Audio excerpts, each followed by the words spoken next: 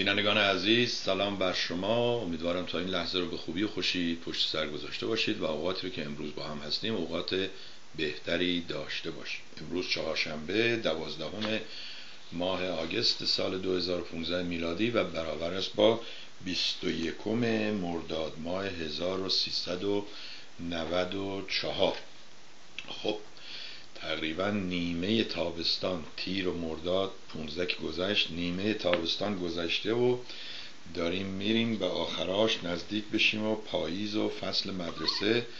نمی‌دونم هنوز هم افرادی اصلا هستن مثل تیمسار روحانی و اینها بخوان دوباره انقلاب کنن و اول ماه مهر به بچه ها بگن مدرسه نریم تحتیل و بیاین تو خیابون و این اوضاع و احوال یا اینها دیگه واقعا حیا و شرم می‌کنن و میرن به کار و زندگیشون می‌رسن. و اما ما اون روز یه تسبیح نشون دادیم دست آقای جان کری که یکی از دوستان در فیسبوک نوشته بود آقا این تسبیح مال خیلی وقت قبل هست و اصلا هیچ ربطی به ایران و توافق ایران و آقای جواد ظریف و اینها نداره و این گویا سلطان امان یا عمان هر کدوم درست داره. اون به آقای جانکری داده و عکسش رو هم برای من فرستاده. اون رو من بهتون نشون میدم. من این دوست اون چون نوشته بود آقا یکم تحقیق کنید. براش نوشتم آقا نمیشه که همه کارا رو ما انجام بدیم. ما خراب می‌کنیم شما بیا درست کن. اینجوری من یه کار انجام دادم شما یه کار انجام دادم. من که نمی‌تونم هم خودم خراب کنم هم خودم درست کنم هم پیدا کنم و اینها. در صورت ممنونم از دوستان که اگر ما اشتباهی می‌کنیم یا یه خبری رو به دروغ هست ما اون رو پخش می‌کنیم اینها میان و به اصطلاح ما رو تصحیح می‌کنن و ما هم مجبور میشیم. مجبور که نیستیم ولی میان با دوستان به اصطلاح تصحیح شده یا درستش رو در میون می‌ذاریم. خیلی ممنون. یکی از دوستان دیروز با من صحبت می‌کرد و می‌گفت که شما که آقای سروش رو به اصطلاح مسئول انقلاب فرهنگی می‌دونید و همیشه شنیدم که میگید که این آقا باید در دادگاهی محاکمه بشه چون خیلی از دانشجویان ایرانی رو وقتی که دانشگاه رو تعطیل کردن اونها دیگه رفتن دنبال کار و زندگیشون و هرگز نتونستن به درسشون ادامه بدن. می‌گفت که می‌دونید قبل از آقای سروش چه کسی انقلاب فرهنگی در ایران کرد؟ گفتم نه ایشون گفت خانم فرع دیبا پهلوی. و نمی‌دونم منظورشون چی بود. حالا اگه یه وقت دوست داشتن در این رابطه صحبت کنن. دیروز باز فرصتی پیش آمد تا با یه دوستی که بارها ایشون لطف می‌کرد و پیام میذاشت و من هم پیام میذاشتم. هیچ وقت نتونستیم با هم صحبت کنیم. دیروز بالاخره تونستیم با هم صحبت کنیم. خیلی خاطره های جالبی دارن و امیدوارم که اگر حتی نمی‌خوان در تلویزیون ظاهر بشن به دلیل شغلشون و اینها به وسیله تلفن با ما تماس بگیرن پیام بذارن و ما اجازه داشته باشیم اون پیام ها, پیام ها رو پخش کنیم. مثلا ایشون در رابطه با همسر آقای سید حسین موسوی که همه ما به عنوان یا به نام خانم زهران رهنورد ایشون رو می‌شناسیم.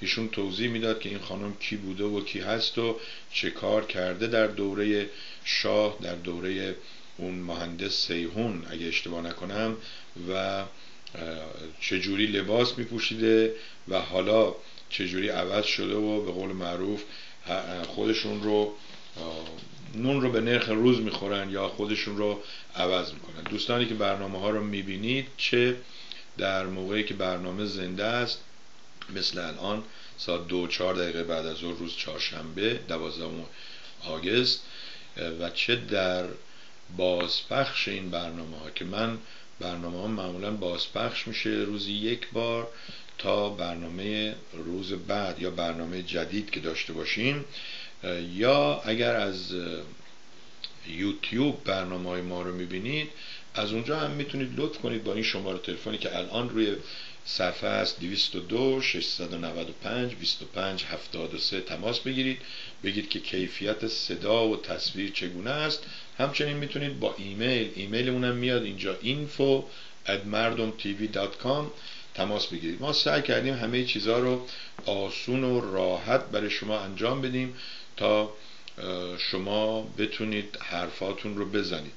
یکی از دوستان ما که ارمنی هم هست لطف کرده بود و گفته بود که چقدر جالبه که این تلویزیون مردم شعارش با حرفش یکی هست از مردم با مردم و برای مردم. شما هم این تلویزیون رو از خودتون بدونید ازش استفاده کنید و لطف کنید ازش حمایت حمایت مالی و معنوی هم انجام بدید. چون این دوتا بدون هم کار نمی‌کنه.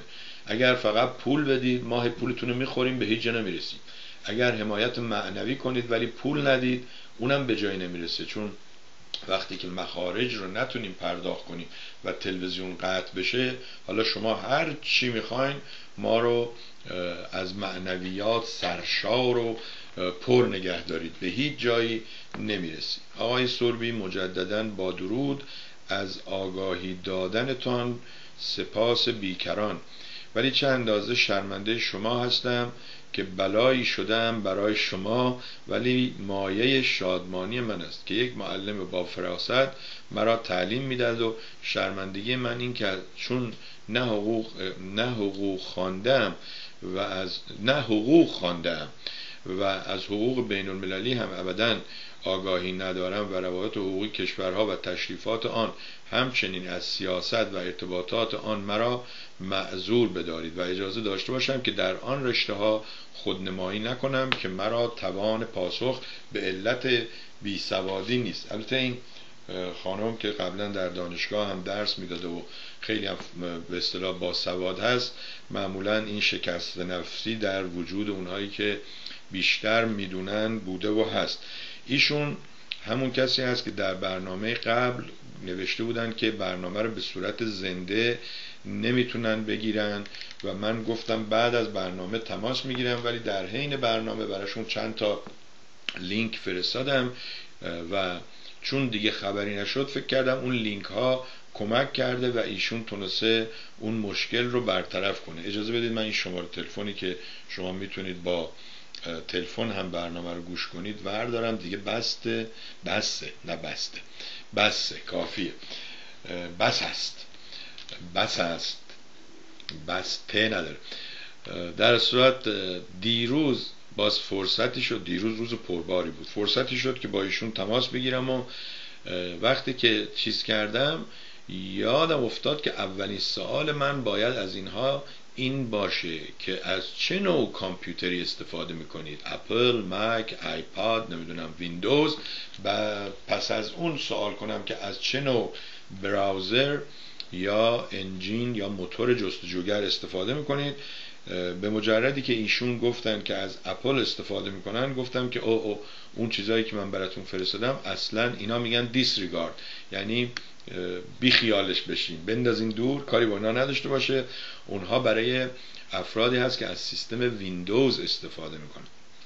در هر صورت بهشون گفتم متاسفانه به دلیل اینکه پول نداریم چون اون سیستمی که باید به اصطلاح یک انکودر دیگه را بندازیم و اینها خرج داره کامپیوتر اضافه می‌خواد وقت می‌خواد نیرو می‌خواد.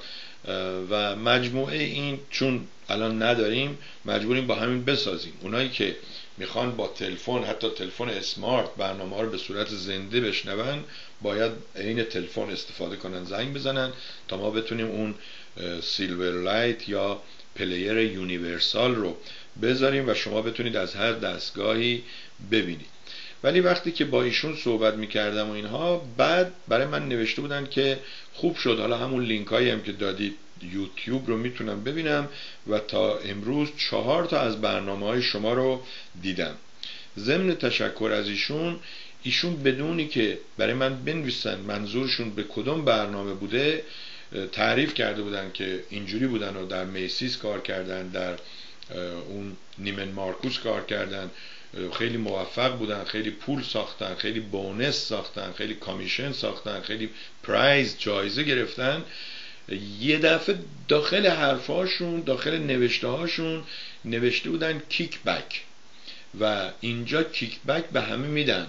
گفتن whoa whoa wait a minute برای ایشون رفتم kick, kickback رو اصلا از توی دیکشنری از توی ویکیپدیا اینها در آوردم که kickback حتی از لحاظ قانون فدرال غیر قانونیه بله شما درست میگی.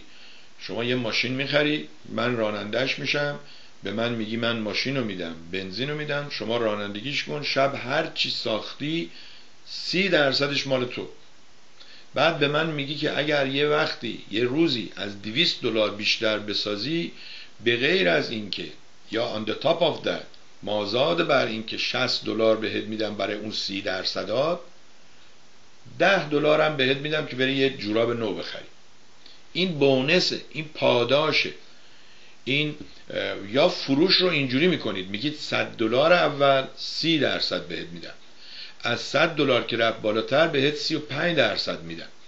اینا کامل درسته و همش رو قرار داده ولی شما چون اینجوری میگید و با شناختی که دارم می‌دونم فکر کنم منظور شما به کیکبک های هست که جناب حضرت آیت الله شاه از شرکت های اسلحه فروشی از کارخونه های اسلحه فروشی می‌گرفته با آقای طوفانیان و دیگر دزدان مملکت. نه عزیز من اون اصلا دزدی که هیچ یعنی نمی‌دونم چی بگم.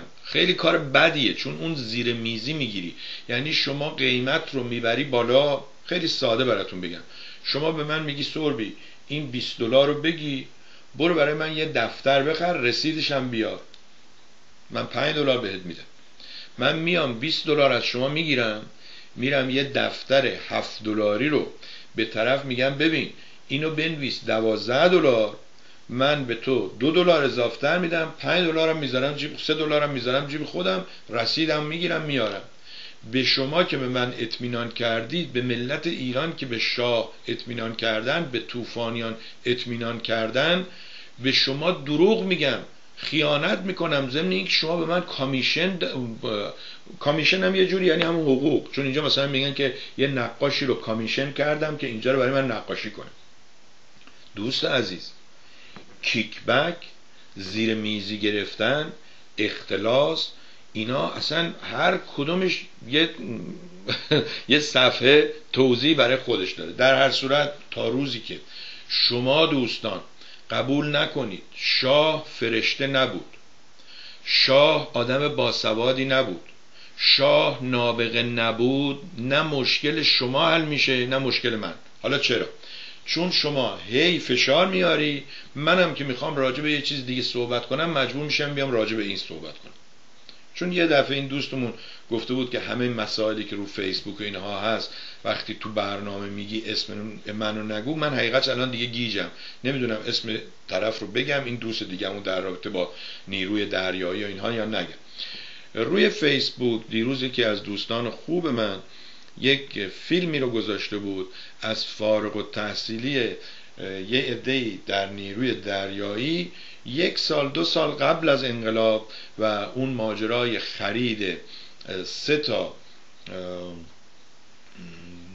زیردریایی که به نامهای نمی‌دونم کوسه و نهنگ و یه چیز دیگه بوده که بعدم این جمهوری اسلامی با بی ارزگی با این کسافت کاری هایی که کرده گویا اینا رو پس داده به آمریکا طبق همون ماجراهایی که می‌دونید خیلی هم اسلحه هایی که خریده بودن اینا نگرفتن ولی پولاشو دادن. آمریکا هم پولا رو فریز کرد. بدبختی ما اینه که ما گرفتار شاه و شیخ شدیم.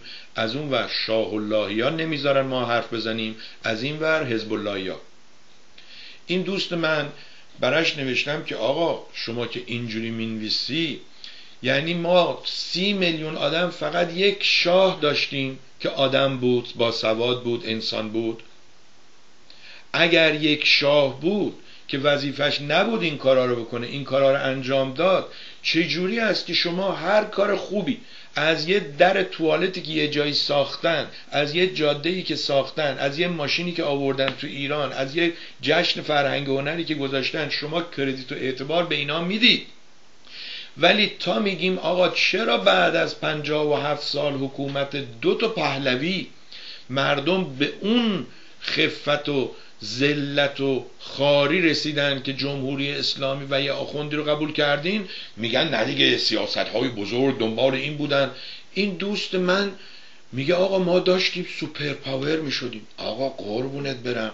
یواش برو با هم همراه باشیم.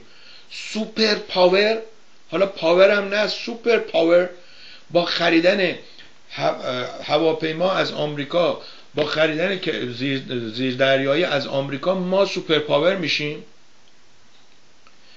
اصلا من نمی‌فهمم شما منطق چیه دوست عزیز من؟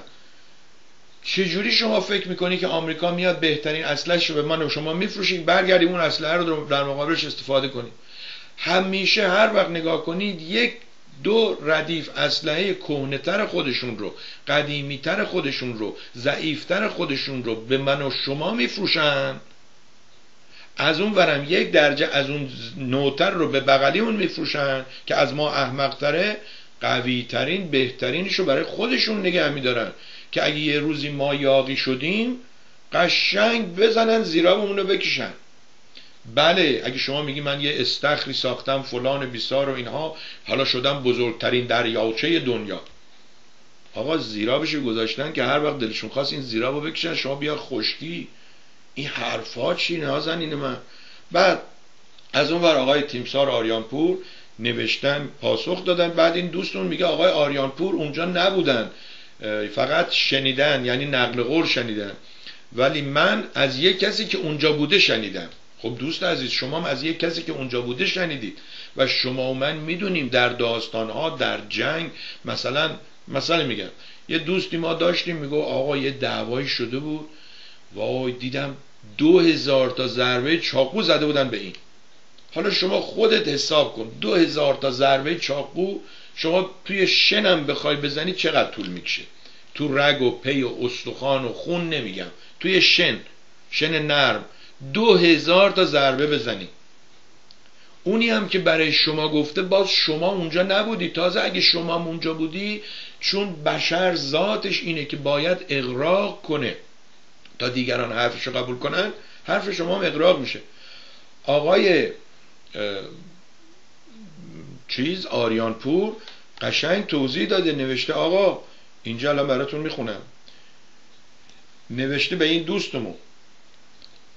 آقای گرامی من از شنیده هایم حرف نمی‌زنم. من به خواهش تیمسار مدنی پس از انقلاب دعوت شدم به عنوان یک مشاور شخصی بیجیره و مواجب درباره پیمانهای منعقده با کشورهای خارج خاصه آمریکا به مدنی و نیروی دریایی کمک کنم. به این علت من برای مدتی بالغ بر هفت ماه هر روز صبح برای چند ساعت به ستاد نیروی دریایی می‌رفتم و به این گونه کارها می پرداختم اون وقت شما این میگید از شنیده های صحبت می‌کنه ولی شما امروز در آمریکا در اروپا از یه دوستی که سی سال سی و پنج سال پیش سی و هفت سال پیش برای شما داره میگه ما به حرفای شما باید استناد کنیم. ولی به حرف تیمسار آریانپور و تیمسار مدنی استناد نکنیم. مدنی که فوت شده رفت. نکنید دوست عزیز من. بعد شما برای من می‌نویسید بله خب شاه هم بالاخره انسان بود مثل دیگران اشتباه می‌کرد. آقا شاه آدم بی سوادی بود. اگر معیار دانش سواد شاه دانش نداشت. اگه شما می‌خوای بگی که شاه بدون اینکه دیپلم بگیره از سوئیس بدون اینکه لیسانس بگیره از یه جایی نابغه بود اون وقت من باهات صحبت می‌کنم. میگم آقا شما به من بگو یک آدم نابغه چند بار باید اشتباه کنه؟ چند بار باید نخست وزیری که خودش میگه خائن بوده یا دوستاش میگن خائن بوده انتخاب کنه؟ باید از مملکت فرار کنه. باید افرادی رو دورش جمع کنه که یکی پس از دیگری خائن بودن. نمی‌خونه عزیز من. نه نابغه بودن شاه می‌خونه با اون کارهایی که انجام شده توی پنجاه و هفت سال. نه با سواد بودنش. بله شاه دو سه تا زبان بلد بود. شما دیگه خودت می‌دونی. اسپانیشه اینجا اسپانیش صحبت می‌کنه آمریکایی صحبت می‌کنه. تو چلو کبابی ایرانی که کار می‌کنه فارسی هم صحبت می‌کنه. بفرستم توی رستوران فرانسوی فرانسوی هم صحبت می‌کنه. ول کنید تو رو خدا بذارید ما بریم به کار زندگیمون برسیم. آقای آریانپور میگه که بله.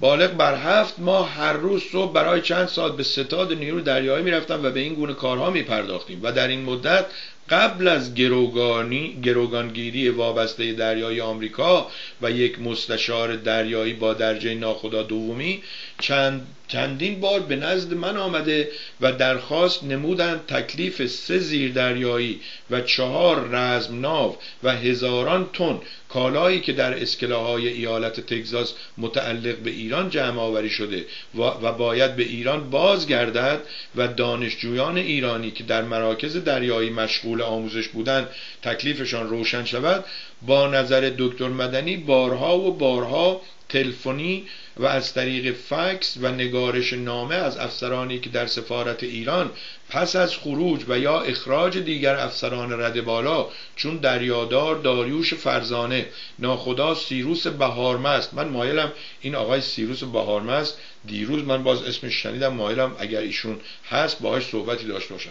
وابسته نیروی دریایی در آمریکا از سفارت ارشدترین افسر باقی مانده سیاوش ستوده بود و ناخدا ناصر یوسفیه که هر دوی آنها در آمریکا به سر میبارند. خواسته شد که زیردریایی کوسه سریعا به طرف ایران حرکت کرده و کالایی که در روی اسکله است با کشتی های کشتیرانی ملی آریا به ایران حمل گردد. ولی به دلایل ولی به دلایلی کسی توجه به دستورات نیرودریایی نمی کرد تا اینکه گروگانی گروگانگیری رخ داد و افسران دریایی که در آمریکا مقیم بودند درخواست پناهندگی کردند و با نبودن آنها به هیچ وجه امکان حرکت زیردریایی وجود نداشت. ضمن اینکه دولت آمریکا همه آنچه را متعلق به ایران بوده مصادره و ضبط نمود. ایشان چگونه از قول یکی از خدمه کوسه نقل می کنند ولی صحبتهای مرا که خود در آن دخالت مستقیم داشتند واهی و بیهوده فرض می کنند خوشبختانه وابسته دریایی آمریکا که در آن زمان که در آن زمان در ایران بود و افسر مستشاری که به ملاقات من می آمدند هر دو در قید حیات و در آمریکا به سر می‌برند. ضمن اینکه ناخدایان ستوده و یوسفیه که می توانند در این موارد توضیحات لازم را بدهند ضمنا هنگامی که فرمانده و افسران زیردریایی پناهنده می‌شوند حتی اگر بعضی از افسران و بیشتر درجداران از پناهندگی خودداری کرده بودند آنها قادر نبودند زیر دریایی را به ایران حرکت دهند. علاوه بر آن صحبت من مربوط به قبل از گروگانگیری است که چرا زیر دریایی که چرا زیر دریایی که از ماها قبل آماده حرکت بود به سوی آبهای ایران به حرکت در نیامد. اگر اسم این را شما خیانت نمی‌گذارید چه نام دیگری می‌توان بر آن گذاشت؟ همونایی که برای شما تعریف کردن کسایی بودن که اینجا پناهنده شدن فوری به آمریکا. نرفتن این کشتی ها رو ببرن ایران. بعد یه جای دیگه شما نوشتید که اون کشتی ها رو آخوندا پس دادن به ایران و به آمریکا و پرچمش آوردن و اصلا ایشون میگه اینا تکون نخوردن از اینجا. عجب ماجرایه در هر صورت می که اگر, این اگر اسم این را شما خیانت نمی‌گذارید چه نام دیگری می‌توان بر آن گذاشت؟ خیانت که شاخ و دم ندارد. چرا یک تن از افسرانی که خانوادهشان در ایران بود درخواست پناهندگی نکرد؟ و همه آنهایی که پناهنده شدند خانوادهشان در کنارشان بودند. معنی آن این است که من و خانوادم فقط سلامت باشیم. گور پدر مردم البته ایشون چند تا نقطه گذاشته. هوشنگ امیر هوشنگ آریانپور. این هم از این دوستمون و ببینیم چه باید کرد. آقا دروغ کنتور نداره. ما اصلا مگا پاور می شدیم سگ زیر سایه لم داده بود. فکر کرد شاخ فیل را شکسته. این من نشنیده بودم تا حالا. دوستان پیام رو می‌شناسید. پیام مدت ها پیش در تلویزیون مردم برنامه داشت. خوشحالم که باز دوباره یه وقتی پیدا کرده بشینه از برنامه های ما بخنده و به اصطلاح برای ما input بفرسته. ایشون میگه آقا این دوست شما اشتباه می‌کنه superpower چیه؟ ما mega power بودیم. خبر نداشتیم. یه ضرب‌المثل هم زده که سگ زیر سایه خب باید بینیستی سایه چی بوده؟ سایه لم داده بود فکر کرد شاخ فیل را شکسته. در اصلا نمی‌دونم والا این سوپر پاوری که رهبرش یه کسی باشه که جنرال هویزر بیاد اونجا. آقای اردشیر زاهدی بگه این مرتکه رو بگی بنداز بیرون. بگه نه حالا بذاریم ببینیم چیکار می‌کنن. آمریکایی‌ها با ما خوبن. قربونت برم. شماها که دوست دارید اینا رو باید به خودتون بگید آقا اینا ظلم کردن. به خودشون اول ظلم کردن. به شماها ظلم کردن. باز یه مقاله راجع به ثروت های شاه بود. آقای آرمورا یه جایی آرمارا آرمورا یه جایی گفته بود که ایشون 60 میلیون تا 100 میلیون داره. بعدا یکی میاد میگه آقا ایشون میگن اردشیر زاهدی به خانم فرح پهلوی گفته آقا خانم این مریض داره میمیره. چرا برای یه هواپیما اینقدر اذیتش می‌کنی؟ شما که چهل میلیارد نمی‌دونم چهل بیلیون پول دارید آقا خوردن بردن حالا طلبکارم شدن. عجب بدبختی داریم. لابد پس فردام این آخوندهای دوز می‌خوان به همین ماجرا طلبکار ما بشن. بابا ول کنید. خوردید بردید. شما هم اگه نزدیک بودید رفتید برید. ببخشید اینو میگم. برید گورتون رو گم کنید. تا بعد این آخونده یکی یکی گورشون رو گم کنن. بلکه شاه که رفت و شیخ که رفت آدم بیاد رو کار. اینا که همشون یا فرشته بودن یا شیطانن. طبق گفته شما. ما آدم نداریم تو ایران. سی میلیون جمعیت ایران بود. یه شاه و باباش آدم بودن که اونا شدن فرشته. هشتاد میلیون جمعیت ایرانه. یه خامنه ای و نمی‌دونم روحانی اون رهبر اون رئیس جمهوره. اینا هستن. ما که آدم نیستیم که. آخه بابا قباحت هم یه حدی داره اندازه ای داره. من از اون دوست نازنین اون, اون بانوی عزیزی که دیروز سر ماجرای درود و سلام و اینا. خانم درود. من دو سال تو ارتش ایران می‌گفتم درود. ولی درود برای یک کسی میگن که یه کار بزرگی انجام میده. نه هر کسی به هر کسی رسید به جای سلام و شلم الخو و نمی‌دونم هی و هوی هی بگه درود. بعدم من درود پرود نگفتم. گفتم برای که شما میگید درود ما نمی‌فهمیم می‌خوایم بیاین داخل یا می‌خوایم بریم بیرون. این دوستون بهزاد از کانادا گفت هر وقت میان داخل به اینا بگو بگن درود ورود وارد شدن درود خروج. حالا شما این همه تو کالیفرنیا درود درود درود درود درود میگید به کجا رسیدید؟ این وضع رادیو تلویزیوناتون این وضع خودتون این وضع فرهنگیتون این وضع پناهندگیتون این وضع چی دارید شما که بهش افتخار کنید؟ هیچ. و اگر یک کسی آمد گفت که بیدار شید می‌خوایم فوشش بدید. یه نفر خیلی قشنگ گفته بود. گفته بود که شما می‌دونید چرا برای شعبد بازا ما همه دست می‌زنیم؟ برای که چشم بندی می‌کنن ها؟ دروغ به ما میگن. مثلا تو کلاش میگه کبوتر نیست بعد کبوتر میاره. ما براش دست می‌زنیم. ولی اگه سوربی آمد حقیقت رو گفت فوشش میدیم میگیم این مامور جمهوری اسلامیه.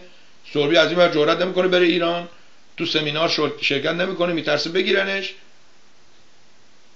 از اون ور تو ایران میندسن نمی‌دونم تلویزیون ضد انقلاب تلویزیون مردم. از این ورم شماها اینجور چه, چه ساختید؟ چه مملکتی ساختید؟ شما که خیلیتون در نرفتید از ایران. مثل ما نبودید تو جنگ و پنج سال بعد ده سال بعد هرچی شماها قبلم که اون بهشت برین در ایران بود شماها تو آمریکا بودید. من سوالم از شما اینه. اگر زمان شاه ایران باغ و بستان بود گلستان بود شما نتونستید اونجا زندگی کنید امروز که میگید شده فاحش خونه شده دوز خونه شده نمی‌دونم آخوند فلان چی می‌خواین از این ملت؟ می‌خواین برگردید برید اونجا زندگی کنید؟ اروا باباتون که برید اونجا زندگی کنید.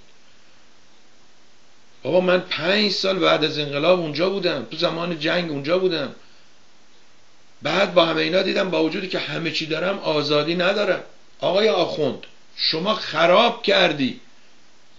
ای کاش شما اینقدر خوب بودی که اینا می‌رفتن خفه می‌شدن دیگه حرف نمی‌زدن. حق مردم رو می‌دادی می‌گفتی ببینید شاه باید این کارو می‌کرد نکرد ما می‌کنیم. شما احمقا آمدید از اون بدتر کردید. شما آزادی اجتماعی رو هم گرفتید. آقا دختره می‌خواد مینی جوب بپوشه. بس بره بپوشه. به تو چه؟ لباس شیشه ای در ایران توقیف شد. مانتو لباس شیشه ای بعد مرده که رفته تو لباس فروشی وایستاده میگه ما میایم اینجا اینجا اینا نباید اینا نباید اینجا باشن. در قسمت مانتو فروشی اینا باید در قسمت مجلسی باشن. یعنی خود احمقش میگه که ما می‌دونیم این لباس ها می‌خرن میرن میپوشن. اونجا اب نداره چون پولارا هستن آقازاده ها هستن. ولی تو خیابون اینا نمی‌تونن بپوشن. یعنی مثل این میمونه که این احمق این معمور دولت این معمور آخوندا تو خیابون به دخترش بگه که تو هر جور دلت می‌خواد بگرد ولی از در خونه که خواستی بیای تو چادر بپوش که من و مامانت احمقت فکر کنیم تو خانم با حجابی هستی. خب این مملکت ما امروز اون مملکت ما اون روز اون نیرو دریایی سه تا زیر دریایی خریدن. ما شدیم superpower. بله. اگر ما superpower نمی شدیم اینا چی می‌شد؟ آمریکا به وحشت میافتاد. آمریکا الان superpower چین هنوز وحشت نمی‌کنه. یه راه دیگه پیدا کرده پدرشو در بیاره. پولای چین رو می‌گیره ازش قرض می‌کنه بهش نمیده. دیدید که الان ماجرای به اصطلاح یوان میگن. پول چین چه بلایی به سرش آمده؟ والا بلا نکنید. من به هر کدومتون میگم خب بیاین اینجا صحبت کنید. میگید نه من دوست دارم بنویسم. من دوست دارم آواز بخونم. من دوست ندارم بیام با مردم صحبت کنم. تا مردم تو خیابون بگن آقا این دیگه کیه؟ این زمان شاه فکر می‌کرده ما سوپر ببخشید سوپوری superpower یم. superpower چیه عزیز من؟ آمریکایی که superpower ه الان به قول خودش به قول خودش برای دو تا عرب پاپتی داعش خرش به گل مونده. چه superpower ی؟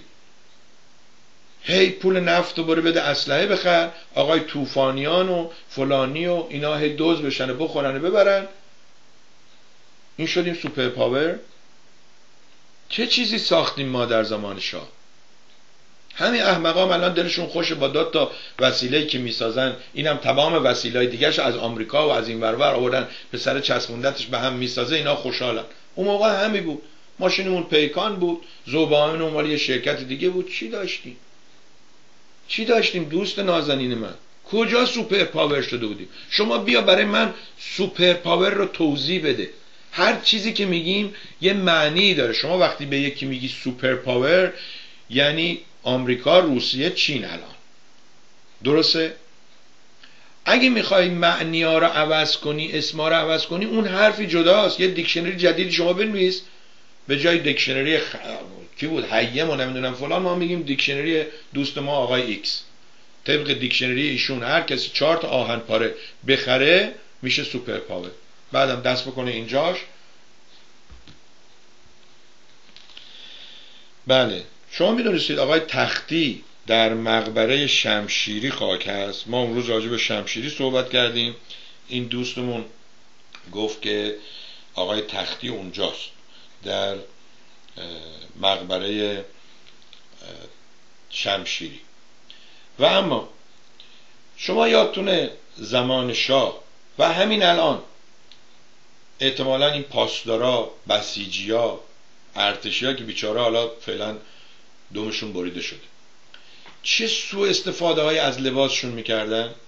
این دوست من که دیروز صحبت می‌کرد گو آقا یه نفر تو کوچه ما بوده هر از دو سه روز می اومده در خونه ما در می‌زده. داداشم می‌گفته آقا این لباس لباس ارتشی لباس دفاع از میهنه. تو چرا اینی میپوشی؟ تو کوچه راه میفته مردم رو میترسونی. سوپر پاور بودیم دیگه. امیدوارم این دوست من تحمل داشته باشه ناراحت نشه. چون اون یکی بانوی عزیز نوشته بود که شما وقتی برای من می‌نویسی چون حرفا رو اولش کوچولو می‌نویسی مثلا کپتال نمی‌نویسی و نقطه ها رو درست نمی‌ذاری. گفتم خانم این از بی سوادی من این چه کار داره که من از شما ناراحت باشم؟ اصلا چرا ناراحت باشم؟ چرا ناراحت باشم؟ بله من یه ناراحتی دارم. شما که انقدر با ما لطف داشتی و به اصطلاح پیام گذاشتی و پیام شما آقای حسیبی رو عصبانی کرده بود و داد و بیده و بیداد و که فکر می‌کرد حالا اگر برنامهش رو قطع کنه ما اینجا از گرسنگی میمیریم. بعد می‌بینم که کمکتون و حمایتتون به تلویزیون دیگه است. از این بابت از شما دلخورم. ولی بازم حق به شما شما هر کاری دلت خواست انجام میدی پول مال خودت حقوقی بریز تو سطل آشغال. بریز بده به یه نفر که معتاده که اون طرف معتاده. یا هر جور دوست داری خرج کن. ولی من برای, من برای چی ناراحت بشم؟ می‌دانم از من عصبانی هستید. برای اینکه هر وقت به من ایمیل میفرستید اول کلماتتون را با اول کلماتتون را با حروف کوچک شروع می‌کنید و می‌دونم که پانچوش را می‌دانید و می‌دانید کجا باید ویرگول یا سمای کالن یا فول و آخر صحبتتان را چگونه ختم کنید؟ من هم برای این به نام نامی یک معلم بالاخره می توانید این مدعیان در صحنه را بیاموزید که چگونه در دو سه دقیقه حرف آها این دوستمون دیروز اینجوری به من می‌گفت که برعکس آقای سعید دوست شما که در آموزش پرورش کالیفرنیا کار می‌کنه و به شما هی میگه که آقا نگو راجع به voice mail و اینها ایشون می‌گفت اتفاقا بگو چون این نشون میده که ملت پرمدعای ما یا پر ادعای ما کدومش درسته؟ ملت پرمدعا؟ ملت مدعی. نه نمی‌دونم والا. یه فارسی هم یادمون رفته. پر ادعای ما هنوز از پیام گذاشتن برای یه نفر عاجزه. که آقا من زنگ زدم می‌خواستم فردا بیام اونجا. این لوله آب رو درست کنم می‌خواستم ببینم هستید اگر نیستید لطفا در حیات رو باز بذارید تا من بتونم برم کنتور آب. اینم شماره تلفن من اگه خواستید با من تماس بگیرید. الو؟ آقای سوربی چندین بار زنگ زدم. نبودید شما. حالا دیگه پیغام می‌ذارم. ما خوشحال میگیم ببخشیدا ببخشیدا. میگیم دیگه این دفعه جونش بالا میاد حرفشو می‌زنه. لطف کنید به من یه زنگی بزنید. شمارم هم که دارید دیگه اونجا پیداست. شمارم اونجا افتاده. بله. حرف مرد یکیه. پیام دوباره شروع کرد. پیام تابستونی تعطیلی. بلند شو بیا آمریکا. کوروش کبیر گفت ایران سوپر پاور الان هم هست. اون دوست شما درست میگه شما بی خود حرف می‌زنید. وگرنه شما ضد کوروش هستین و وطن فروش. حیف که وطن خری پیدا نمیشه. وگرنه من تا الان فروخته بودم رفته بود. آقا پیام جان تو دیگه رو دست ما بلند نشو من از لحاظ وطن فروشی و دنبال وطن خرگشتن نفر اولم. تا حالا پیدا نشده. حالا شما آمدی دیر آمدی می‌خواد زود, زود بشی؟ استاد. خب News and Views ببینیم. من نمی‌دونم چرا ایمیل های آقای محسن نژاد میره داخل اسپم. ایمیل های آقای مصطفی زاده هم میره داخل اسپم ولی ایمیل های اونایی که صد بار می‌نویسیم این اسپم است و آشغال هست اونا رو هی برای ما میفرستن. روزگار غریبی است. نازن خب.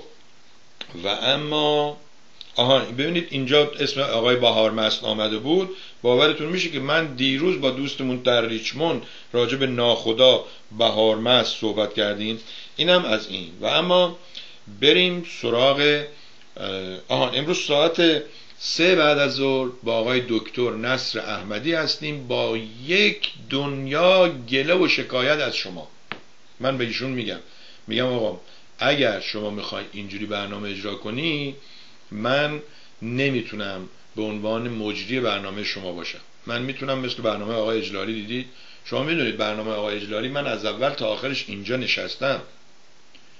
اون برنامه رو من اینجوری می‌زنم به میکروفون ایشون می‌فهمه شروع کنه.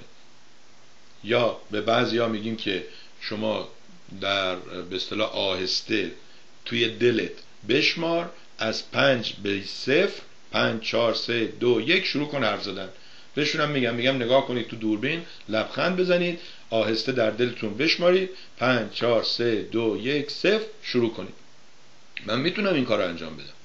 ولی آقای دکتر نصر احمدی شما اگه میای با یک کسی به عنوان مصاحبه شونده interviewee and interviewer صحبت می‌کنی باید عزیز جان دوست گرامی سه دقیقه پنج دقیقه که حرف می‌زنی ساکت بشی. بگی شما اگه صحبتی دارید بگو یا اگر پرسشی داری مطرح کن. اگه نه شما دوباره صحبت کن. ولی اینی که شما مثل تیر آرش که از کمان بیرون میاد صحبت می‌کنی و به هیچ کس اتفاقا این دوستمون لیلا خانم قرار بود یه پیامی بفرسته نفرستاد. تابستون همه خیلی گرفتار و مشغول هستن. امیدوارم گرفتاری های خوب باشه عروسی ها باشه مسافرت ها باشه و الا آخر چون اون دوست خوبمونم رفته بود مسافرت خانم مستانه شرق. و عروسی هم رفته بودن. من نمی‌دونم اون اگر تو عکس شما بودید چرا توی عروسی لباس سیاه پوشیده بودید؟ معمولا لباس سفید میپوشن. خب اینم از این. این مردشور فیسبوک هم ببره. هی میگه ما گیجیم. خب گیجی که گیجی میگه گیجی هم refresh هم کن. آقا من توی یه صفحه هستم نه تو صفحه مردم و سوربی هستم توی یه صفحه هستم. چرا میگی من گیجم؟ خب خودت خودتو refresh کن وایس جونت هم بالا بیا.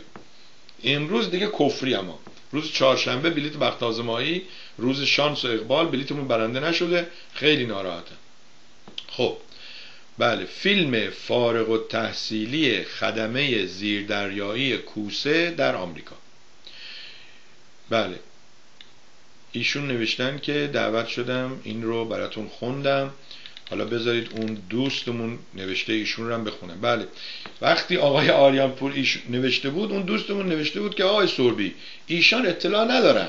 چرا که از شنیده های خود چرا که از شنیده های خود می‌گویند. اما صحبت های من از قول یکی از پرسنل همان زیردریایی است. این جمله درست نیست عزیز من. اگه شما گفته بودید من از خودم میگم از تجربه خودم یه چی ولی شما دارید از یکی دیگه نقل قول می‌کنید ایشون حالا تازه من نمی‌دونستم. ایشون میگه آقا من اونجا بودم. ما نامه نوشتیم. کسی نبود که اینو بیاره. کشتی ها اینجا تو تگزاس بوده تو بندر بوده موندن اینجا. من نمی‌دونم بعدا چیه اون در دومیش میگه پس دادیم و بردیم. عجب یه مش آدم های دروغگویی. بله. من از قول یکی از پرسنل همان زیردریایی است اسمشو بیا بگو.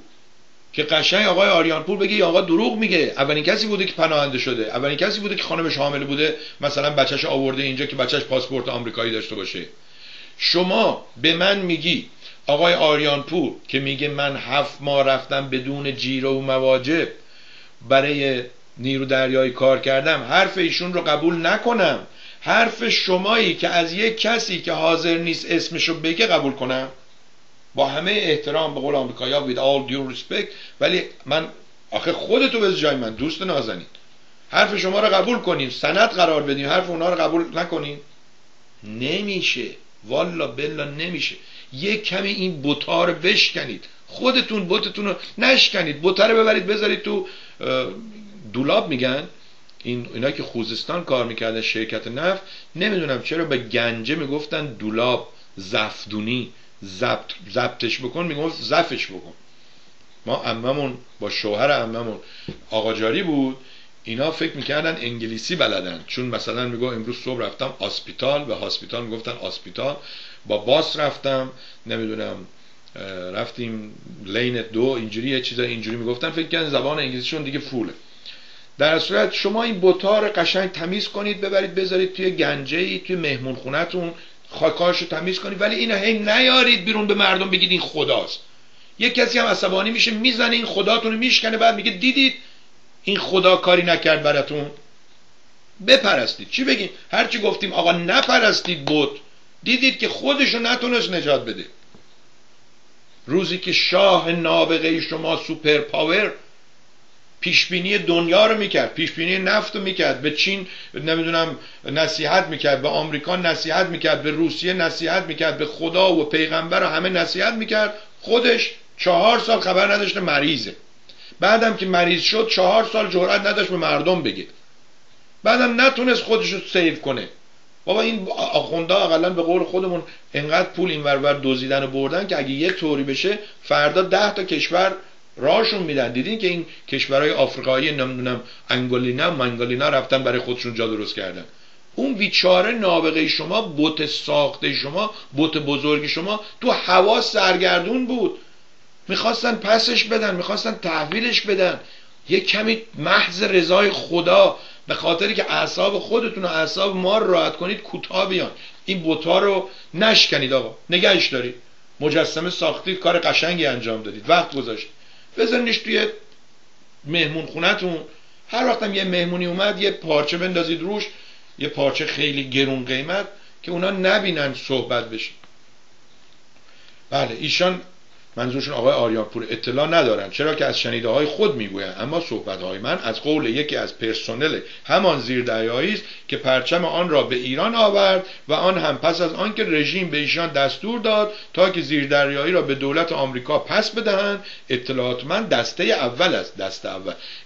اطلاعات من دسته اول است ولی مال جناب آریانپور از شنیده ها که خب فرق را مشخص می‌کند. والا فرق برای شما مشخصه. برای من خیلی نامشخص تر شد. چون من می‌دونم شما با اون ارتباطاتی که داشتید درباره چیزهایی که تحقیق می‌کنید من به گفته ها و نوشته های شما استناد می‌کردم. الان اتفاقا اینجوری که گفتید یه مقداری شک در دلم افتاد که آقا نکنه تمام گفته های دیگه هم اون که اون تیم سار فلانی هم اینجوری گفته اون که اون سروان فلانی هم اونجوری گفته مثل این باشه. این آقای پرهنر شما پرچم و ورشته برده ایران. مطمئن رفته ایران. اینجوری که آقای آریان پور میگی میگه اینا همشون پناهنده شدن. میگه همشون خانواده هاشون اینجا باهاشون بود. بله. از ایشان بخواهید که نه این ویدیو نگاه کنن و به یک باره پشت سر به این ویدیو نگاه کنم و یک بار پشت سر 400 نفر از بهترین فرزندان آب و خاک ما صفحه نگذارن. شک نیست که تعداد قلیلی هم ممکن است. آنطور که ایشان گفتن عمل کردن که آن هم ذات ایرانی است. ببینید شما وقتی میگی ذات ایرانی است جمع میبندی. یعنی همه ما ایرانی ها اینجوری. البته شاه نه اونها جدا بودن اونها تافته جدا بافته بودن. اما اکثریت چنین نکردند فیلم زمیمه سندی است از خیانت رژیم و نه خیانت پرسنل زیردریایی. در این ویدیو که زمیمه می‌کنم به سراحت دستور جمهوری اسلامی مشخص است و در آخر باید بگویم که جناب آریانپور همه خدمه کوسه خیانتکار بودند در مورد F 16 ها تانک های شیر ایران و باقی ادواتی که جمهوری اسلامی از تحویل گرفتنشان امتناع کرد چه می‌گویید یعنی همه خواهند بودند جز من و شما؟ کارمان خیلی خراب است. با این عمرا حالا می‌بینیم که چرا چرا چه به سرمون آمد آنچه که آمد هر چه بگندد نمکش می‌زنن وای به روزی که بگندد نمک. همینجا وایس. من و شما امروز بعد سی هفت سال می‌بینیم با این عمرا با این ارتش شاهنشاهی ایران چه به سرمون آمد. شما که میگی شاه نابغه است. چرا نفهمید؟ سی هفت سال قبل از این سی هفت سال. خیلی جالبه درست سی هفت سال شاه شاهی کرد. که من دوست دارم ببینم این حقوقش چند بوده. سالیانه چند درصد حقوقش می‌رفته بالا. یک کسی که ریاضیش خوبه فکر کنم باید از فرید سایپور کمک سی هفت سالو ضرب در دوازده کنه ضرب در حقوق کنه بگی اینا آب ببخشید توی شیراز نمی‌دونم چرا نمی‌دونم چرا. ماها وقتی بچه بودیم به پرستو می‌گفتیم پیرسوک. بعد نمی‌دونم می‌گفتیم که اینا خوراک نمی‌خورن. اینا از بس تون میرن هوا می‌خورن کفم میرینن. بگه خیلی خودمونی. اوکی؟ حالا چرا آقای بهمن فر دارم میام سراغ شما. آقا برنامه تلویزیون با خودمونی باشیم. شما به فرزند خودت میگی سرور؟ همان جوری که در آمریکا می‌گوین سر می‌گوین مستر. قربونت برم. کی به باباش میگه مستر؟ کی به بچهش میگه سر؟ کجای کاری آقای بهمن فر عزیز نازنین من. همچین خبرایی نیست که. شما داری راه را عوضی میری. در هر صورت شما به من بگو که چگونه بود که شاه عالی مقام دانشمند نمی‌دونم نابغه با سواد بزرگ ارتشداران شما که انقدر مدال به سینش بود که از بس اینا سنگین بود مجبور بود اینجوری صاف را بره؟ می‌دونید این آقای کندی کمردرد داشت کرست براش بسته بودن مجبور بود همیشه صاف را بره. لابد همیشه می‌گفتن چه ورزشکاریه. چرا اون نفهمید که این ارتش این عمرا اینایی هستن که شما امروز داری میگی خب مز اینا بوده که اینجوری شده؟ چرا وقتی که اون عکس‌ها رو میفرستید که عکس‌ها رو نشون میده با این نمی‌دونم درجه که به خودشون بستن و این گم گمپاله هایی که زدن به خودشون ببخشید اینو میگم. این اولاغایی که توی ایام عید رنگشون می‌کردن و زنگوله بهشون می‌زدن و اینها اون عکس رو می‌ذارید از این ور این عکس چاق و ریشو و کسافت اینا رو می‌ذارید. ولی همینا اون موقع که نداشتن رفتن برای جنگ هشت سالم وایسادن یه متر مربع رو ندادن. ولی امروز دیگه نمیرن. چون اینا هم شدن مثل ارتش ایران. پولدار شدن زمیندار شدن بچه هاشون خارجن. اینجوری نمیشه. شما یه چی بنویسی من نیم ساعت راجع بهش صحبت کنم. باید توی برنامه های باشه. پنج دقیقه. من بگم ده دقیقه شما بگی. اون وقت مردم قضاوت کنن. اون وقت مردم بگن ای داد بیداد ما که این وبسایت رو نگاه می‌کردیم این فیسبوک رو نگاه می‌کردیم اینم دست کمی از اون شاه ها نداره. این نظر منه. امیدوارم از من دلخور نشید. بله. حالا همه این بحثا رو شروع کردیم چون آقای امیروشنگ آریانپور وقتی اون ویدیوی فارغ و تحصیلی رو دیده بود نوشته بود دیدن این ویدیو داغ دل مرا تازه کرد. در, اواخر, در, در اواخر سال 1356 آموزش پرسنل زیردریایی کوسه خاتمه یافت و در همان زمان تعمیرات و مدرنیزه کردن زیردریایی دیزلی قدیمی آمریکایی که به ایران فروخته شده بود نیز خاتمه یافت. شنیدی؟ زیردریایی دیزلی قدیمی آمریکایی که به ایران فروخت شده بود نیز خاتمه یافت. و تمرینات دریایی آن زیردریایی توسط پرسنل دریایی ایرانی زیر نظر کارشناس دریای آمریکا شروع گردید. در ماهای مهر آبان آذر دی و دی ماه 1357 زیردریایی کوسه که یکی از سه فروند زیردریایی ایران بود آماده حرکت به سوی ایران بود. ولی پرسنل آن و نماینده نیروی دریایی مقیم در آمریکا دریابان داریوش فرزانه اسم میگه. به دلایلی این دست به آن دست کردن یا با شلوغی هایی که در سال 1357 در ایران در جریان است این زیر دریایی که متعلق به کشور ایران است و از هر لحاظ آماده حرکت به سوی, روی به سوی ایران بازگردد و یا در آمریکا باقی بماند. بله این خیانته. این خیانت رو آخوندا کاملش کردن. اگه اونا آورده بودن دیگه آمریکا که نمی‌تونست بیاد پس بگیره. ولی وقتی هی وایسیم ببینیم چی میشه ببینیم چی میشه ببینیم چی میشه آمریکا هم همینجا که هست میبنده اینا هم که همه پناهنده شد.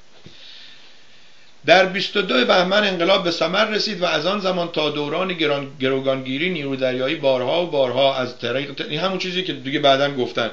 بارها گفتیم و ندادن و نیمدن و کسی حاضر نبود. دوستان کارمون خیلی خرابه. ولی اجازه بدید من این نامه آقای بهمنفر رو بخونم چون گویا روز چهارشنبه هفته پیش من درباره یکی دیگه از نامه های ایشون صحبت کردم.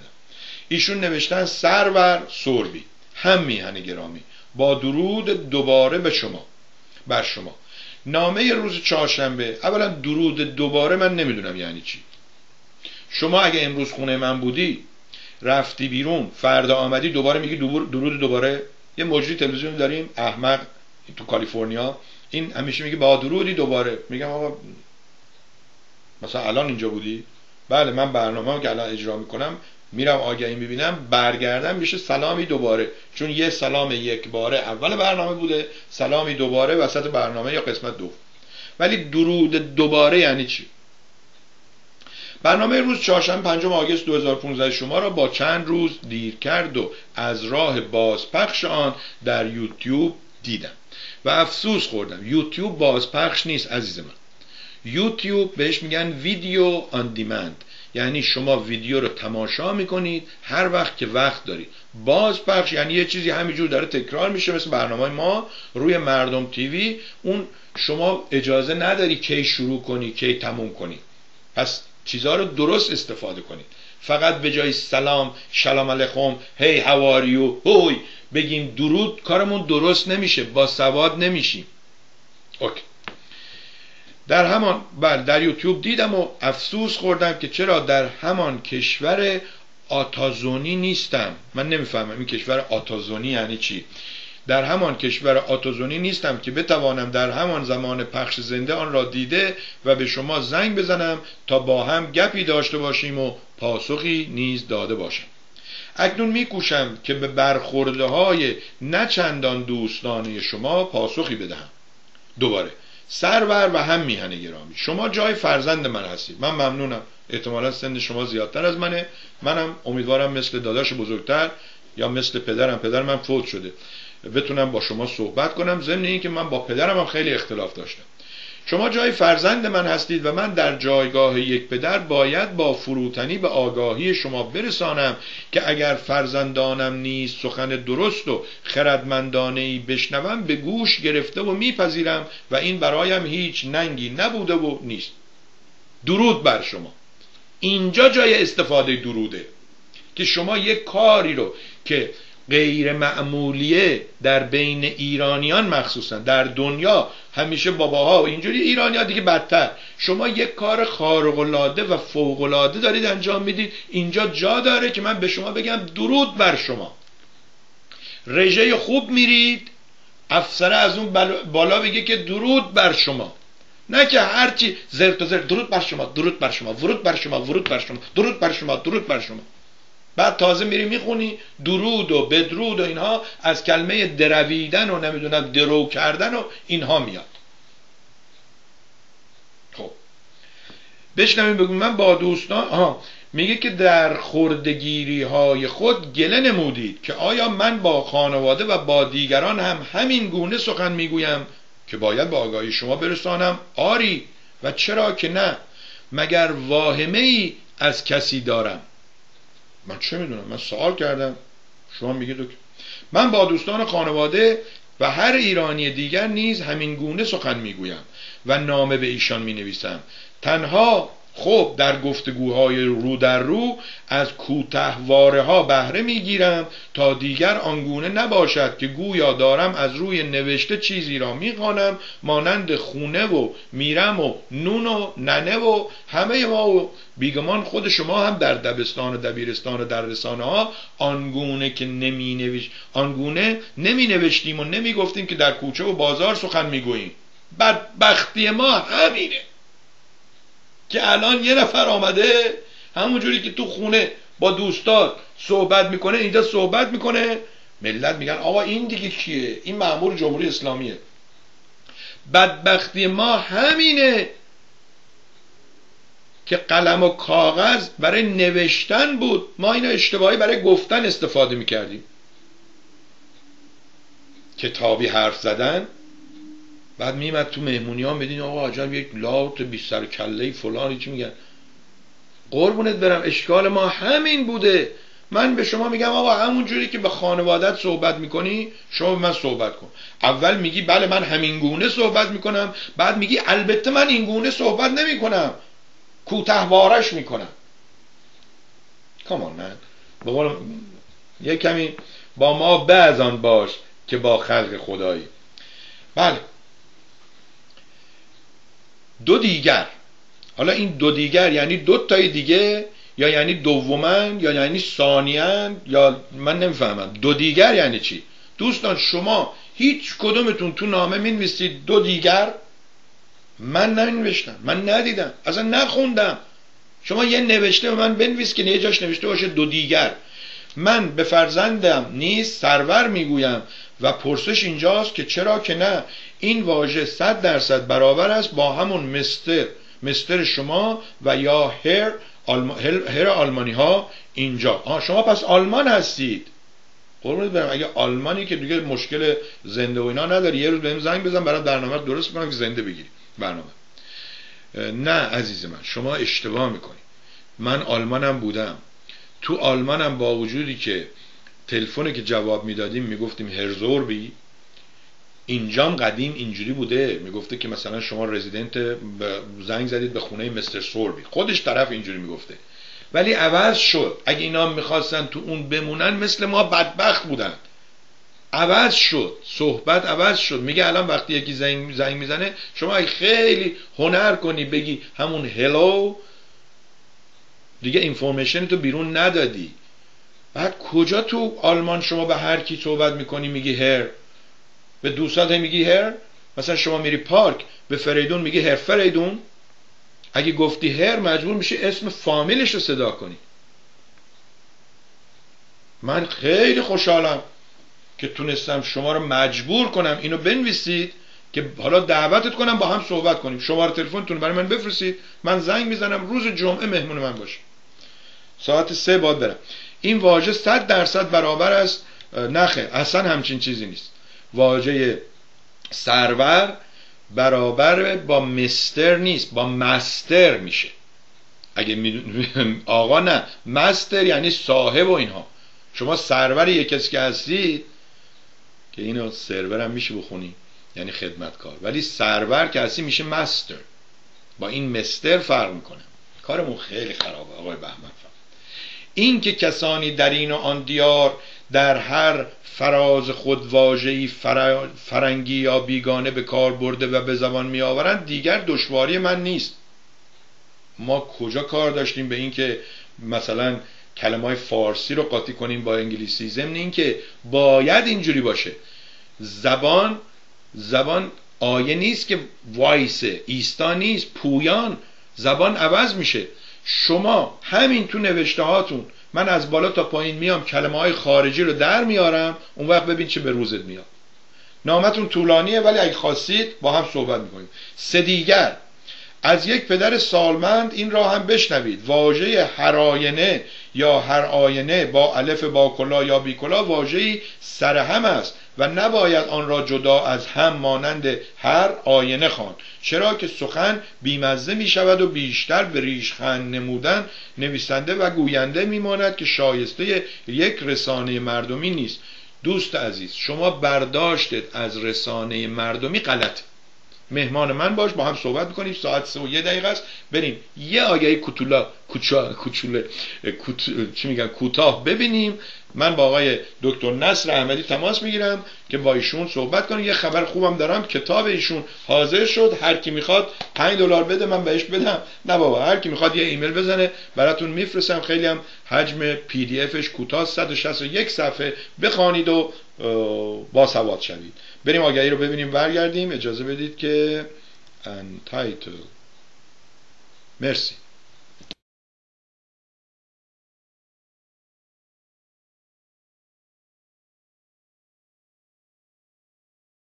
دفتر حقوقی لطیف زمانی. کارهای حقوقی خود را با اطمینان خاطر به ما بسپارید. لطیف زمانی بهترین مشاور و همراه شما. ثبت شرکت ها و مؤسسات تجاری طبق قوانین و مقررات انگلستان. پذیرش نمایندگی برای شرکت ها و مؤسسات تجاری از هر نقطه جهان. اخذ ویزای دانشجویی تنظیم قراردادهای تجاری رفع مشکلات اعتباری دریافت ویزای سرمایه گذاری و تجاری. تهیه و ارسال اقلام مورد نیاز شرکت ها و مؤسسات تجاری طبق مقررات انگلستان.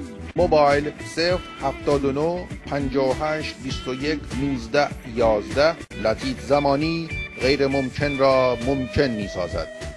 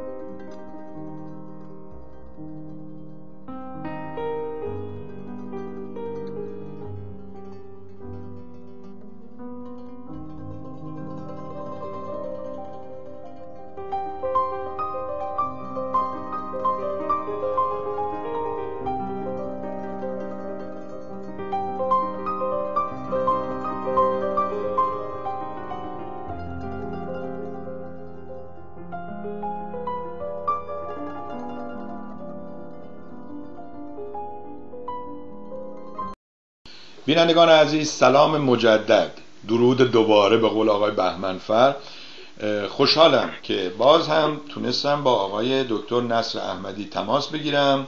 ضمنا همونجوری که به شما گفتم اگر ایشون اجازه بدن ما امروز شاید با گله برنامهمون رو شروع کنیم.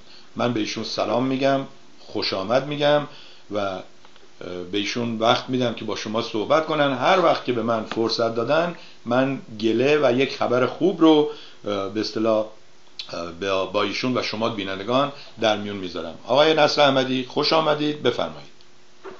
سپاسگزارم جناب آقای سروی حضور همه همیهنانم سلام دارم. با شادکانی تندرستی برای همه همیهنانم و شما. فرمودید گلایه. من گمان نمی کنم کار نادرستی کرده باشم که جای گله باشه. هر روی من شنونده هستم برای پاسخ گلایه شما. بله. آقای نصر احمدی دوستان از من گله می‌کنن که آقای سوری اگه شما اونجا مصاحبه کننده هستید باید هم نماینده ما باشی هم هوای برنامه رو داشته باشی. اینی که آقای نصر کاملا درسته. این کاملا ببخشید من قطع کردم. کاملا مطلب درسته. بله بله, بله. تا اینجا درسته. میگن این که آقای نصر احمدی بیاد از اول تا آخر صحبت کنه و به شما فرصت نده این درست نیست. راه معقول و عادلانش اینه که ایشون صحبت که می‌کنن هر از سه دقیقه پنج دقیقه یه بار بگن که شما صحبتی دارید پرسشی هست از بینندگان و اینها ضمنا. خانمی به نام لیلا که شما باش صحبت کردید با من تماس گرفت. گفت من یه پیام می‌خوام بذارم آیا شما پخش می‌کنید در برنامه؟ گفتم چرا که نه. و گفته بود که توی اون برنامه می‌خواد حساب توی اون پیام می‌خواد حساب شما رو برسه ولی تا امروز اون پیام رو نگرفتیم. هر وقت بگیریم در برنامه خود شما پخش می‌کنیم که شما هم به اصطلاح این فرصت رو داشته باشید پاسخ بدید. و اما قبل از اینکه شما برنامه امروز رو شروع کنید اجازه بدید یک خبر خوش رو بدم به دوستان. از دوست شما اون آقای بهمن نازنین تشکر کنم. چون یه نفر دیگه ایمیل فرستاد از اون شخص تشکر کنم که کتاب PDF شما رو که 161 صفحه داره برای من فرستادن و در بایگانی تلویزیون مردم موجود هست. هر کدوم از شما بینندگان عزیز و شنوندگان محترم بخواین من به شوخی هم تو برنامه قبلا گفتم 5 دلار بفرستید بعدم بلافاصله گفتم نه آقا پول نخواستیم. یه ایمیل برای من بزنید من براتون اون رو ایمیل می‌کنم. آقای احمدی من ساکت میشم. شما در رابطه با قانون اساسی حکومت پارلمانی ایران و این رایستانی که صحبت کردید صحبت کنید و اگر در چند هفته گذشته در سری برنامه های آقای مینوی آقای توکلی اینها موضوعی پیش آمده که اونها رو هم می‌خواین مطرح کنید این برنامه برنامه شماست. بفرمایید میکروفون در اختیارتون. این آیت سپاسگزارم.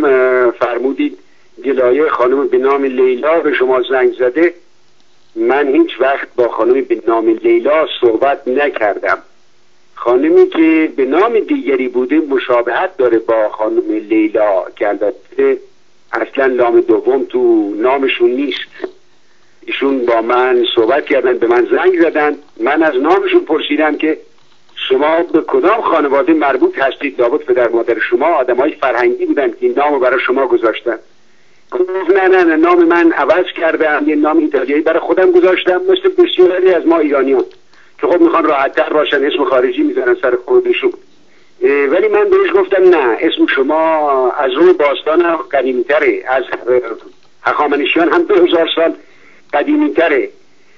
یک جدلی در گرفت حالا کی رو قطع کرد؟ خودستایی میشه.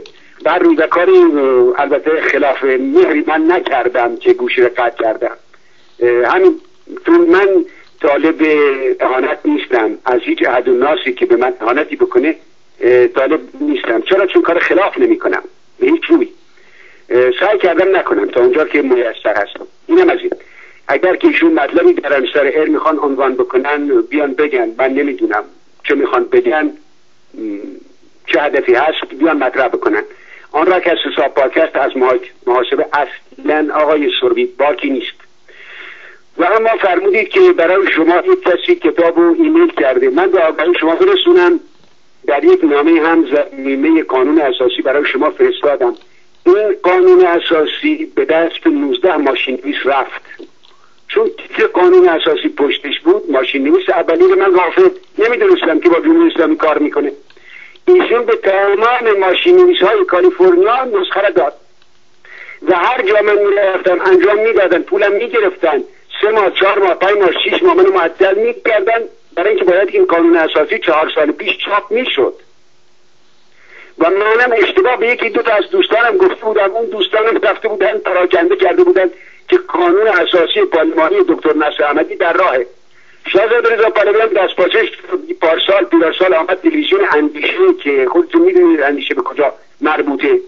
ایشون اعلام کردن که ما 50 60 نفر هستیم داریم قانون اساسی می نویسیم 26 تا جامعه شناس هستیم 26 تا حقوقدان و من هم همراه اینها هستم. البته من تخصصی ندارم ولی با اینها هم هستم و داریم قانون اساسی پارلمانی می نویسیم خدا کنه قانون اساسی که به دست شما رسیده قانون اساسی باشه که آخرین نسخه باشه. چرا؟ چون هیچ قانون اساسی معتبر نیست بدون امضای من و دست نویس آخرین صفحه که قانون اساسی تمام شده. برای که ممکنه از قانون اساسی های قبلی باشه و خراب بکنه. ماهیت قضیه خراب بکنه. این است که شما باید هوشیار باشید و ببینید کدام قانون اساسی هست. بهترین راه اینه که خود من پیدیف که برای شما فرستادم از همون استفاده بکنید و اون پیشین هر که هست از مهرش ممنونم و شاید او هم قانون اساسی نادرستی به دستش رسیده باشه برای شما فرستاده و کار اشتباه بشه و دچار لغزش بشه. برای اینکه قانون اگر یک کاما پس پیش شد کل مطلب به هم می‌خوره. یعنی کافی یک ماده نادرست در یک قانون اساسی باشه. اون قانون اساسی ضد انسانی و از ماهیت خودش به میشه. این هم من خواستم به آگاهی شما برسونم. هر از هم که من پی دی رو از ماشین نویس ها می‌گرفتم حتی چاپخانه یک چاپخانه می‌دیدم عکس مثلا قورباغه توشه عکس ماشین فلکس واگن توشه شطور توشه گاه پلنگ ابری فارسی هندی انگلیسی و خیلی چیزای آشفته. به هر روی یک کسی مورد اعتماد پیدا شد و از سر تا بن این قانون اساسی رو ماشین کرد. شیش چاپخانه هم رفتم چاپخانه اولی هم سر از جمهوری اسلامی در آورد. با توجه که مدیر چاپخانه از سوق گریه کرد. که من خوشحالم در آینده ایران به نام چاپ کننده قانون اساسی کشورم این کار انجام میدم. شبش هم به من زنگ زد. سه تا تاجر ساپورت کردن. گفتم قرار نبود کسی بتونه قرار شد شما سه هزار نسخه چاپ بکنید. دویست تا به من بدید برای رادیو تلویزیون ها. و هفتش تا آدم های اکادمیسیان و سیاست مدار بقیه مال خودتون هر جور می‌خواید بفروشید رایگان بدید. نسخه 500 دلار به شما بدن نسخه 2000 دلار بدن. یا رایگان دست خودتون. بعد روی فردای روز بعدش که با من بعد گذاشت که برم اونجا و سیدی رو که تعبیر منشی داده بودم بنشینم نگاهی بکنم برای آماده باشه برای چاپ دیدم نماینده جمهوری اسلامی. بغل دست ایشون نشسته. یک چاپخانه معروف و معروفی هم هست. و بر روی کار به خیلی دشواری کشید. برای چاپ این قانون اساسی من ترجیح می‌دادم. در زندان چهریق نزدیک تبریز باشم اما بعد از چاپ دچار این موزل مشکل نشم. 19 ماشینی میصرف و 6 تا چاپخانه. بنابراین قانون اساسی های نادرستی از قانون اساسی پارلمانی حکومت پارلمانی ایران به نام دکتر نصر احمدی مطمئنا به دست شما هم ممکنه برسه. اما سندی معتبره که امضای من پشتش باشه و دست نویس من. اینو که من این مطلب خواستم به آگاهی شما رسونده باشم. بسیار ممنون. ولی من این رو با اون کتابی که شما برای من فرستادید به اصطلاح مطابقت کردم و یکی از ضمنا بعد از برنامه اسم اون کسی رو که برای من ایمیل کرده میفرستم. که شما مطمئن بشید این نسخه اصلیش هست و تا اون زمان من برای کسی این رو نمیفرستم. فقط برای آقای نوری ارسال کردم که آقای نوری هم به من گفته بود که این نسخه از اصطلاح کتاب فارسی دریافت کرده. ولی خوشحال شدم که شما این موضوع رو گفتید تا ما یه وقت خدای نکرده به اصطلاح کپی های نادرست نفرستیم. آقای بله بله صحیح بله. فرمودید. جناب سرگی پیش از پایان این مطلب اون پیدیفی که از سوی من فرستاده شد برای شما روز چهار پنج روز پیش. اون بله. معتبره که پاسخ داده بودید ویکند خوبی براتون می‌خوام. همون اون معتبره. اونو بله. بفرستید. حالا اون که دیگه مال خودمه مربوط به خودم اونو بفرستید.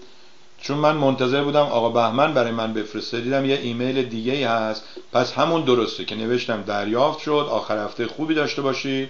بله بله اون معتبره. از اون استفاده بکنید. آقای بهمن هم اگر که شما باهاش صحبت بکنید بخواد بیاریدش در خط چون من با ایشون قبلا بله. هنگی نکرده بودم بهتر هفته آینده از حالا برنامه ریزی بکنیم. ده دقیقه اول برنامه را به ایشون واگذار بکنید و بعد برنامه من شروع بشه. بی نهایت خوشحال بسیار ممنون. شماره تلفن ایشون رو دارم. هفته آینده ده دقیقه ربع ساعت در خدمت ایشون خواهیم بود. تا به این وسیله از ایشون هم تشکر کنیم که این کتاب و به اصطلاح اونجوری که باید و شاید نگه داشته و PDF و اینها تا بفرسته برای این اون ممنونم. بله آقای احمدی. تو سایت و ایمیل خودش تکنیکی به لحاظ تکنیکی به آگاهی مردم برسونه بله. من شنونده هستم اگر پرسشی باشه آماده بله. هستم برای پاسخ من یه پرسشی برای هم‌میهنانم باقی نمونه بسیار عالی من یه پرسشی دارم خارج از این قانون اساسی و حکومت پارلمانی می‌دونم شما چندین بار تو برنامه های مختلف گفتید حتی شرطتون با خود من این بوده که برنامه سیاسی نشه. ولی چون شما مطالعه زیاد دارید و چون یکی از افرادی هستید که از یکی از قدیمی ترین ایلهای ایرانی هستید من می‌خوام سر این کلمه درود یا سلام چون دیدم به شما هم یه کمی حمله شده که شما چرا میگید سلام. صحبت کنم. دیروزم با یه دوست دانشمندی از کالیفرنیا صحبت می‌کردیم که ایشون برای من نوشته بود که درود به معنی این هست. بعد من رفتم اصلش رو آوردم که درود رو فقط باید جای استفاده کنید که عملی شایسته و فوقالعاده انجام شده باشه. شما به اون شخص آفرین و درود بگید. ولی برای سلام سلام یه چیز معمولیه و برای به اصطلاح باز کردن صحبت و اینها هست. شما نظرتون چیه؟ چرا شما هنوزم سلام میگید و چرا شما هم تظاهر نمی کنید به پیشرفته بودن و درود ورود بگید یا درود خروج بگید؟ این داستان کوتاه رو ارز کنم حضورتون. من کودک بودم از کودکی.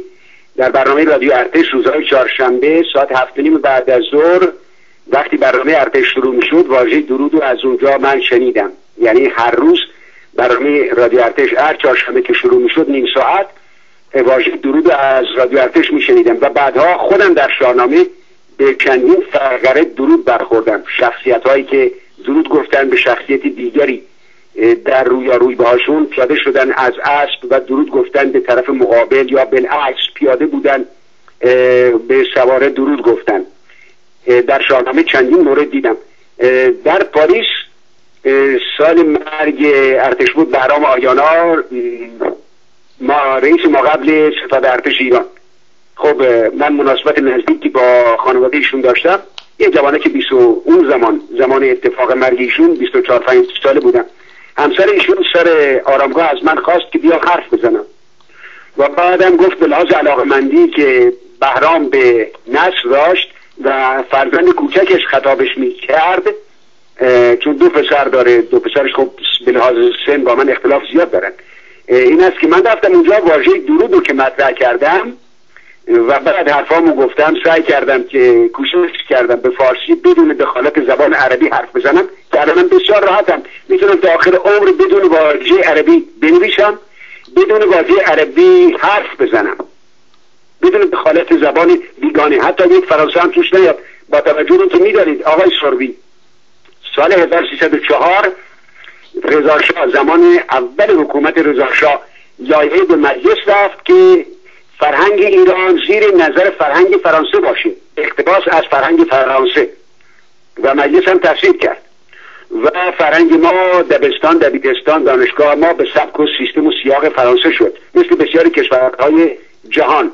که مدلشون دانشگاه فرانسه به ویژه سوربن بوده و فرهنگ فرانسه کشور ما هم از اون وضع تبعیت کرد.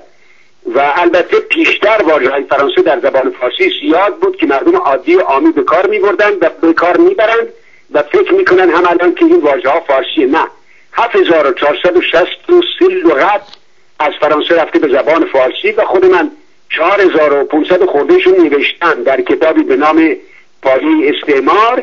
یعنی طرز تلفظی که یک چوپان روستایی گویا به کار می‌بره و واژه فرانسه هست من اونا رو عینا و واژه های علمی رو در اون کتاب آوردم. کوشش می‌کنم بقیه هم اضافه کنم و اگر امکانات مالی جیبم اجازه بده چون من همه کارهای زندگانی رو با جیب خودم انجام دادم. حتی جبهه رو.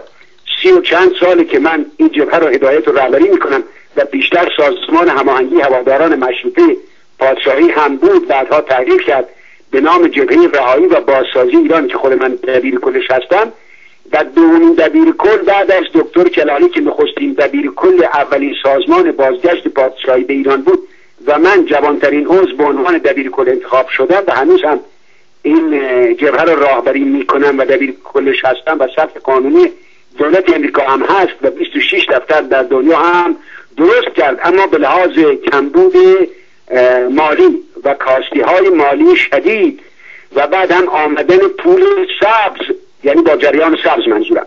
و خرید رهبران سیاسی به و رادیو تلویزیون ها که شما در جریان هستید این جبهه بسته شد نمایندگانش هم هنوز معیوس و سرگردان و هواخواهان در انتظار این هستند که دوباره من بیام به میدان این هدایت و رهبری و کار این جبهه باسازی رهایی باسازی ایران از سر بگیرم.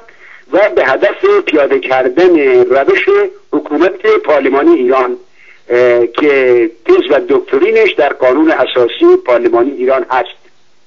این است که واژه درود و من اونجا که عنوان کردم بعد از مطلب افسران ارتش به من اعتراض کرده که آقا بیشتر واژه رو ما نفهمیدیم. چه زبانی قاطی زبان فارسی کردی؟ گفتم نه همین واژه که رادیوی شما در برنامهش عنوان می‌کرد. واجه های فارسی ناب بدون دخالت عربی چرا چون آریانا اعتقاد بر این داشت و علاقمند بود که واجه های عربی در زبان فارسی نباشه من به احترام روح ایشان و به لحاظ علاقمندی به ایشان آمدم اینطور حرف گفتم. از اون به بعد من سعی کردم مثل دیگران حرف بزنم ولی مثل دیگران کمتر بنویسم. سعی می‌کنم اگر مطلبی رو بنویسم که دنبال نویسندگیم سعی کردم نباشم ولی نمی‌دونم از بعد حادثه در 15 کتاب من چاپ کردم که 6 تاش فرانسه است بقیهش فارسی. فرانسه ها رو من دخالتی در کار چاپش نداشتم چرا؟ چون همه دانشگاهی هستند و همه با سرمایه دانشگاه چاپ شده و قیمت کتاب هم سرش هست که من دخالتی و دخل تصرفی در اون کار ندارم. اما کتاب های فارسی من قیمت سرش مطلقا نیست. چرا؟ چون هدیه هست. هدیه شخص خودم به هم میهنانم و دوستانم و یارانم و کسانی که به فرهنگ ملی و ناب ایران و به واقعیت های جهان ما باور می‌خوان داشته باشند. این است که این واژه درود که اونجا من عنوان کردم. بله درود که من در برنامه شما عنوان کردم که نه من از این درود بیزار شدم. این درود فارسی ناب من ازش بیدار شدم. چرا؟ چون پس این درود من دروغ فراوان شنیدم. آقای سربی بازم تکرار می‌کنم. بسیار ناراستی درش شنیدم. بسیار دروغی دو پهلویی درش دیدم. و بسیار ناروایی درش دیدم. این است که از اون درود من به جانشینی همون واژه عربی سلام به معنای تسلیم نه به معنای سلامت. به معنای تسلیم من هم رضا دادم تا زمانی که دار تا پنج هم میهن من بیان در رادیو تلویزیون بگن این واژه شاهنامه در چه بخشی هست و چه کسی به چه کسی گفته است یا چه کسانی به چه کسانی گفتند. بله درود به معنای آفرین زه مرحبا خه و و, بار کلای عربی احسنت عربی به کار میره برای کسی که کار شایسته انجام بده. ولی جای سلام هم در همون زبان پهلوی میانه گرفته بود. یعنی به جای سلام امروز درود بود. درود ریشه اوسترایی داره که به معنای درات هست. یعنی این دعوا که میگن در فرانسه دروات نوشته میشه یعنی به معنای راست یعنی قانون یعنی حقوق یعنی حق. این همون معنا رو داره که از واژه داد هست که داریش بزرگ و افلاتون در رساله هفتمش به نام پادشاه داد می‌خونه. یعنی پادشاه دادگر پادشاه درستکار. این درود در معنا یعنی درستکار. دروات یعنی راست.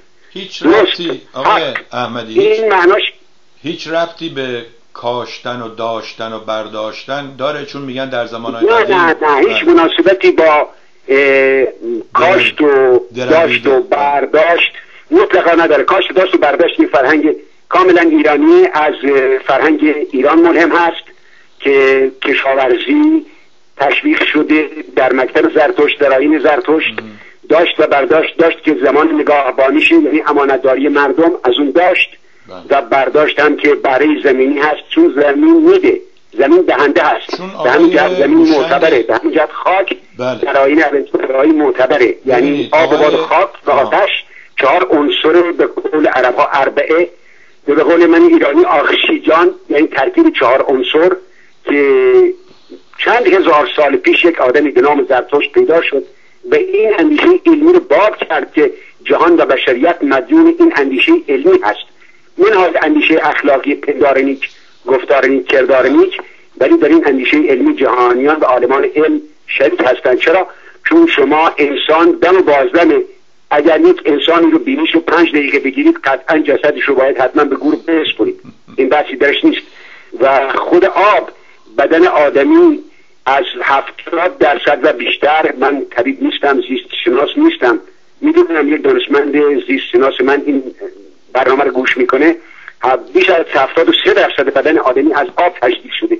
بنابراین چیزهایی که زرتشت به نام آب و باد خاک و آتش گفته این جهان هستی رو ساختار کرده. نه مناسبتی با اون سه مرحله که شما فرمودید نداره. خیلی آقای... واژه درود به معنای راستی و درستی است. بله. اما من به کار نگرفتم نمی‌گیرم. چرا؟ چون سر یعنی گلایه دارم.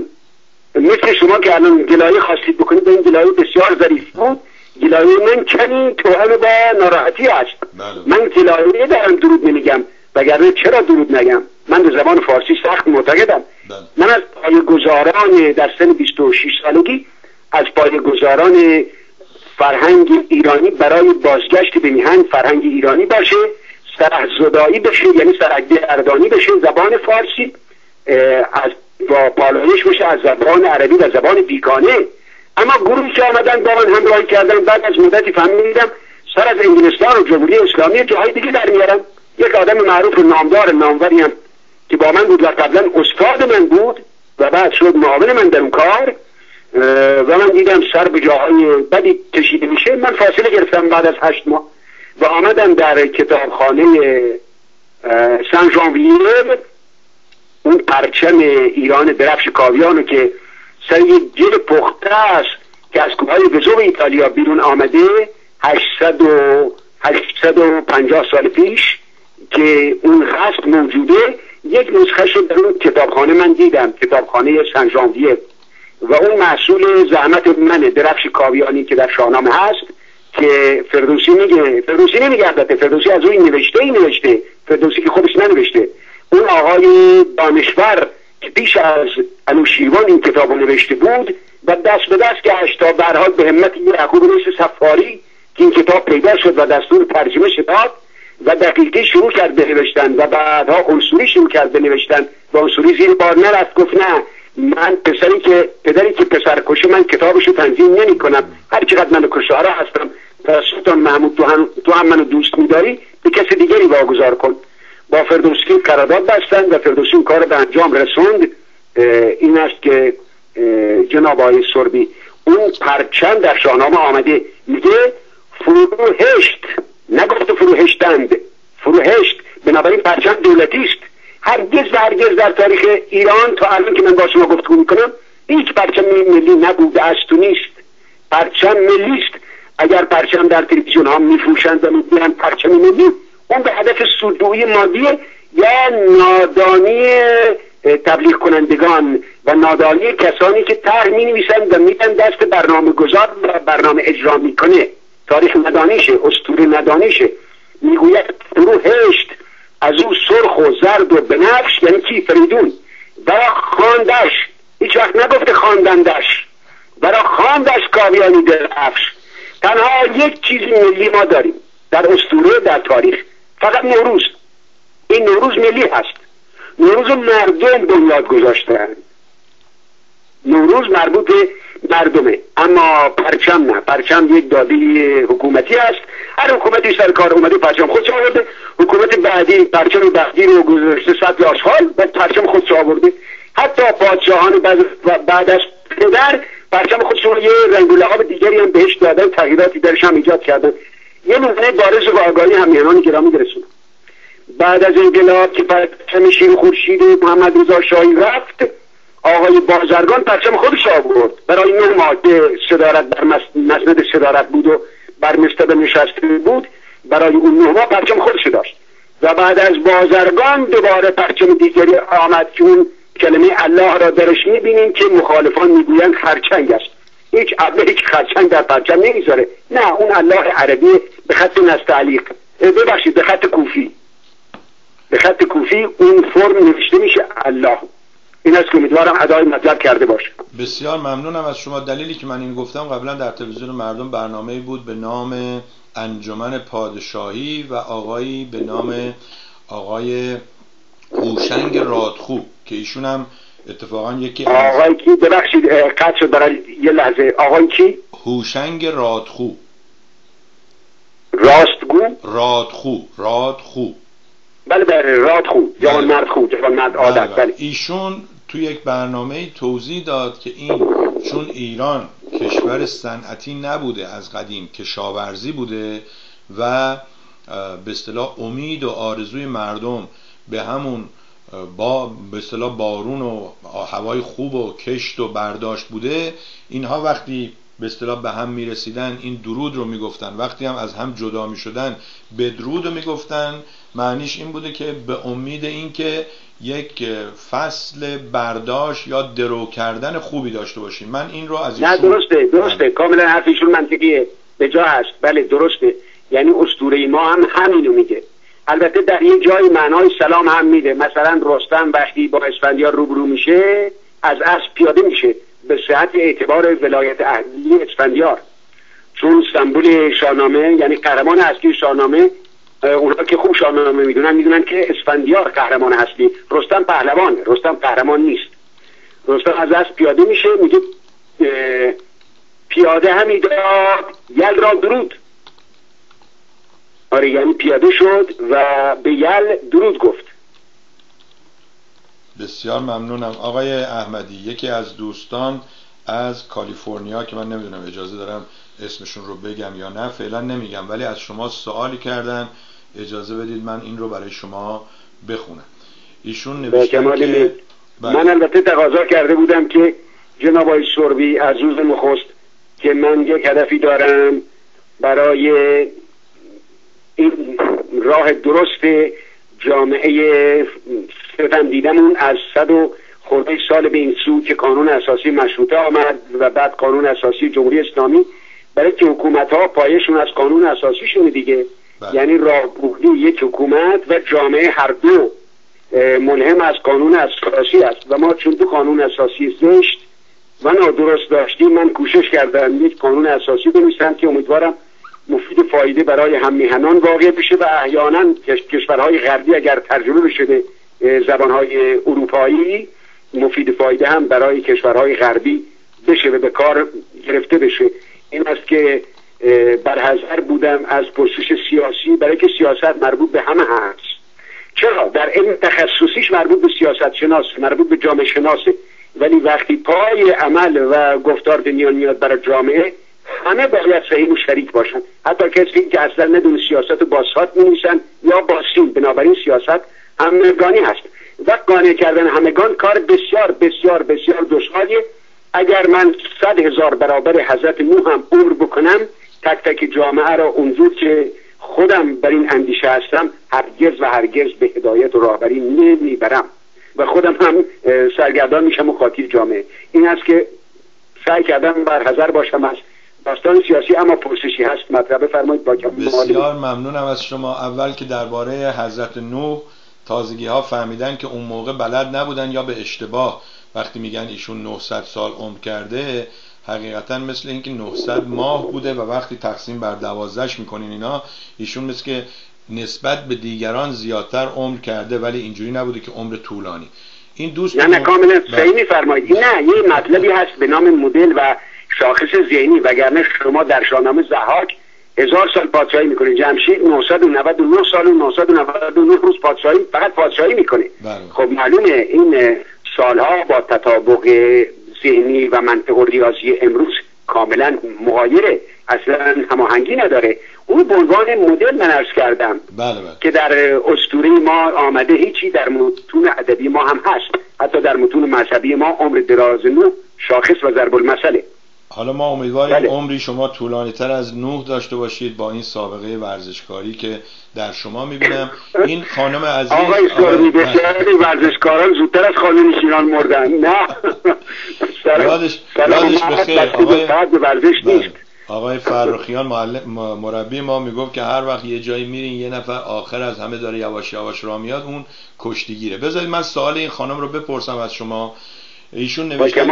ایشون نوشتن آقای سربی آقای احمدی نویسنده قانون اساسی چرا در مورد قانون آگهی نمی‌دهند و نمی‌گویند چه باید کرد و متفرقه سخن می‌گویند با احترام بذارید من عذرخواهی کنم و بگم به این دوستمون که شرط اول شما با تلویزیون مردم و با دیگر تلویزیون ها این بود که شما نمی‌خواین خودتون رو به سیاست کثیف آلوده کنید و تنها در مورد کتابی که نوشتید می‌خواین صحبت کنید. ولی چه کنیم که بعضی وقتا ما ما بیننده ها ما رو مجبور می‌کنن و بعضی وقتا ما شما رو مجبور می‌کنیم. در صورت بانوی گرامی. من همین الان کتاب آقای احمدی رو برای شما با ایمیل فرستادم و امیدوارم که ما کمتر صحبت کنیم و بیشتر آقای احمدی درباره قانون اساسی صحبت کنه. بفرمایید. اتفاقا این سرکار بانو بیان دل من شدن من ازشون سپاسگزارم. بله شرط اول من هم با شما و با دیگر تلویزیون ها در این بود که اصلا سوال سیاسی نشه بپردازیم به هدف. خب سوال میشه من هم ناچار به پاسخ هستم. این است که مسئله متفرقه میشه و از هدف بدور میشیم هدف من پیاده کردن قانون اساسی پارلمانی هست برای حکومت پارلمانی آینده ایران. حالا چند سال دیگه چند مدت دیگه چند ماه دیگه اون دیگه بستگی به شرایط سیاسی و جد اجتماعی هیجانات اجتماعی و آماده بودن جامعه و حتی قدرت های بیگانه داره. این است که من هم سعی می‌کنم به اصل مطلب بپردازم. بسیار سپاسگزارم. از بانوی محترم که این تذکر رو دادم منم از ایشون خواهش می‌کنم وقتی که این کتاب خوندن اگر سوالی یا پرسشی دارن با این شماره تلفنی که الان زیر عکس شما نشون میدم. 818 201 57 79 تماس بله بله استدا می‌کنم. این شماره رو یکی دو نوبت خود منم تکرار می‌کنم که اگر قلم کاغذ دارم هم میهنان احترامی. 818 که کد هست 201 هم عدد بسیار ساده در ذهن جا می‌گیره. به گمانم نمی‌دونم گفتم یا نه آقای سروی چند نمونه برای عددها آوردم. از تاریخ خاطرتون هست؟ راجع به 57 و 79 می‌دونم. بله بله. آه پس 201 رو نگفتم. بله 201 البته سال دقیقش نه. مثلا سال 198 هست تا 202 اما بین این سال هاست و میشه 201 رو عدد شاخصی حساب کرد. دو مطلب مهم تاریخی در 201 هست. یعنی 201 پس از هجرت پیغمبر از مکه به مدینه پیغمبر اسلام. 201 بله. سال بعدش بغداد که یه پایتخت بسیار بسیار قدیمی و کهنترین پایتخت جهان بوده شاید یکی دو پایتخت هم همزمان با بغداد پایتخت بودند. بر اساس تاریخ منظورم اسطوره کار ندارم. بغداد در همون سال به عنوان پایتخت انتخاب میشه. یعنی معمول از مرو میاد به بغداد اونجا رو پایتخت می‌کنه. بنابراین این سال می‌تونه در ذهن بیننده و شنونده جای بگیره. و یک شاید و یک چیز دیگر هم هست شاخص دیگر.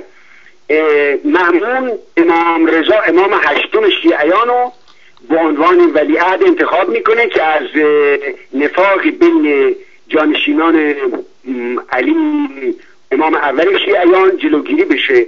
امام رضا رو به عنوان جانشین انتخاب می‌کنه. ولی به عنوان ولی نه جانشین. و دخترش رو میده به امام رضا.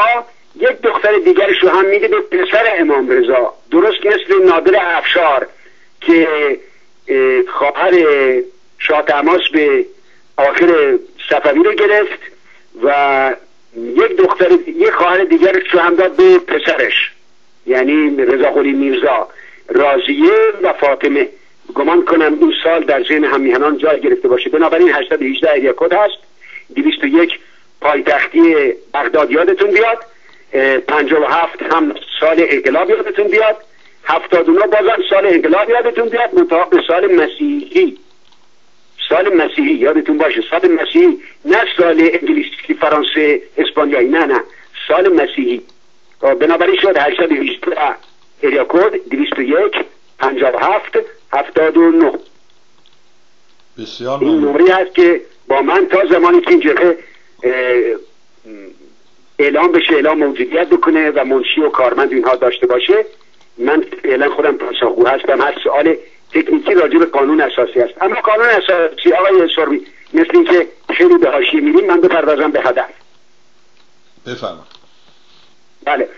خب چون بیش از 110 ساله قانون مشروطه درست شده و بیش از 36 سال قانون اساسی جمهوری اسلامی شده و یکی از دیگری بدتر بنابراین باید یک راهکار انسانی اخلاقی میهنی و جهان شمول جایگزین اینها بشه که جامعه ایرانی از این دشواری و سختی زندگی در بیاد و عنصر ایرانی بتونه تجلی شخصیت بکنه. یعنی تجلی شخصیت که من بسیار سرش حساسم و این باعث و انگیزه این کار شد و می‌بینم بسیاری آدم های با استعداد هیچ وقت صاحب مقام و منصبی نشدند و نادانان بر مستبه نشستند و دزدان و دشمنان اخلاق نیک آمدن صاحب مال و مکنت شدند و آزادگان توی دست موندند.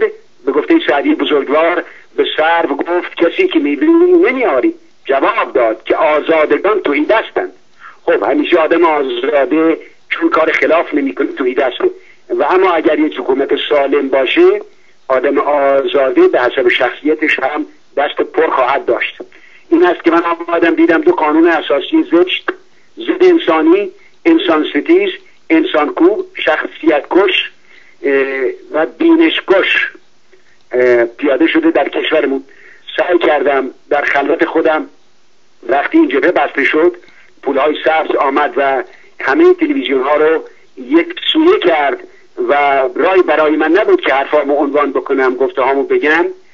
و پول هم می‌خواست امکانات برای گردوندن اون جبهه دفتر مرکزیش به ویژه و 26 دفتر نمایندگی در جهان این است که احتیاج به امکانات و سرمایه بود.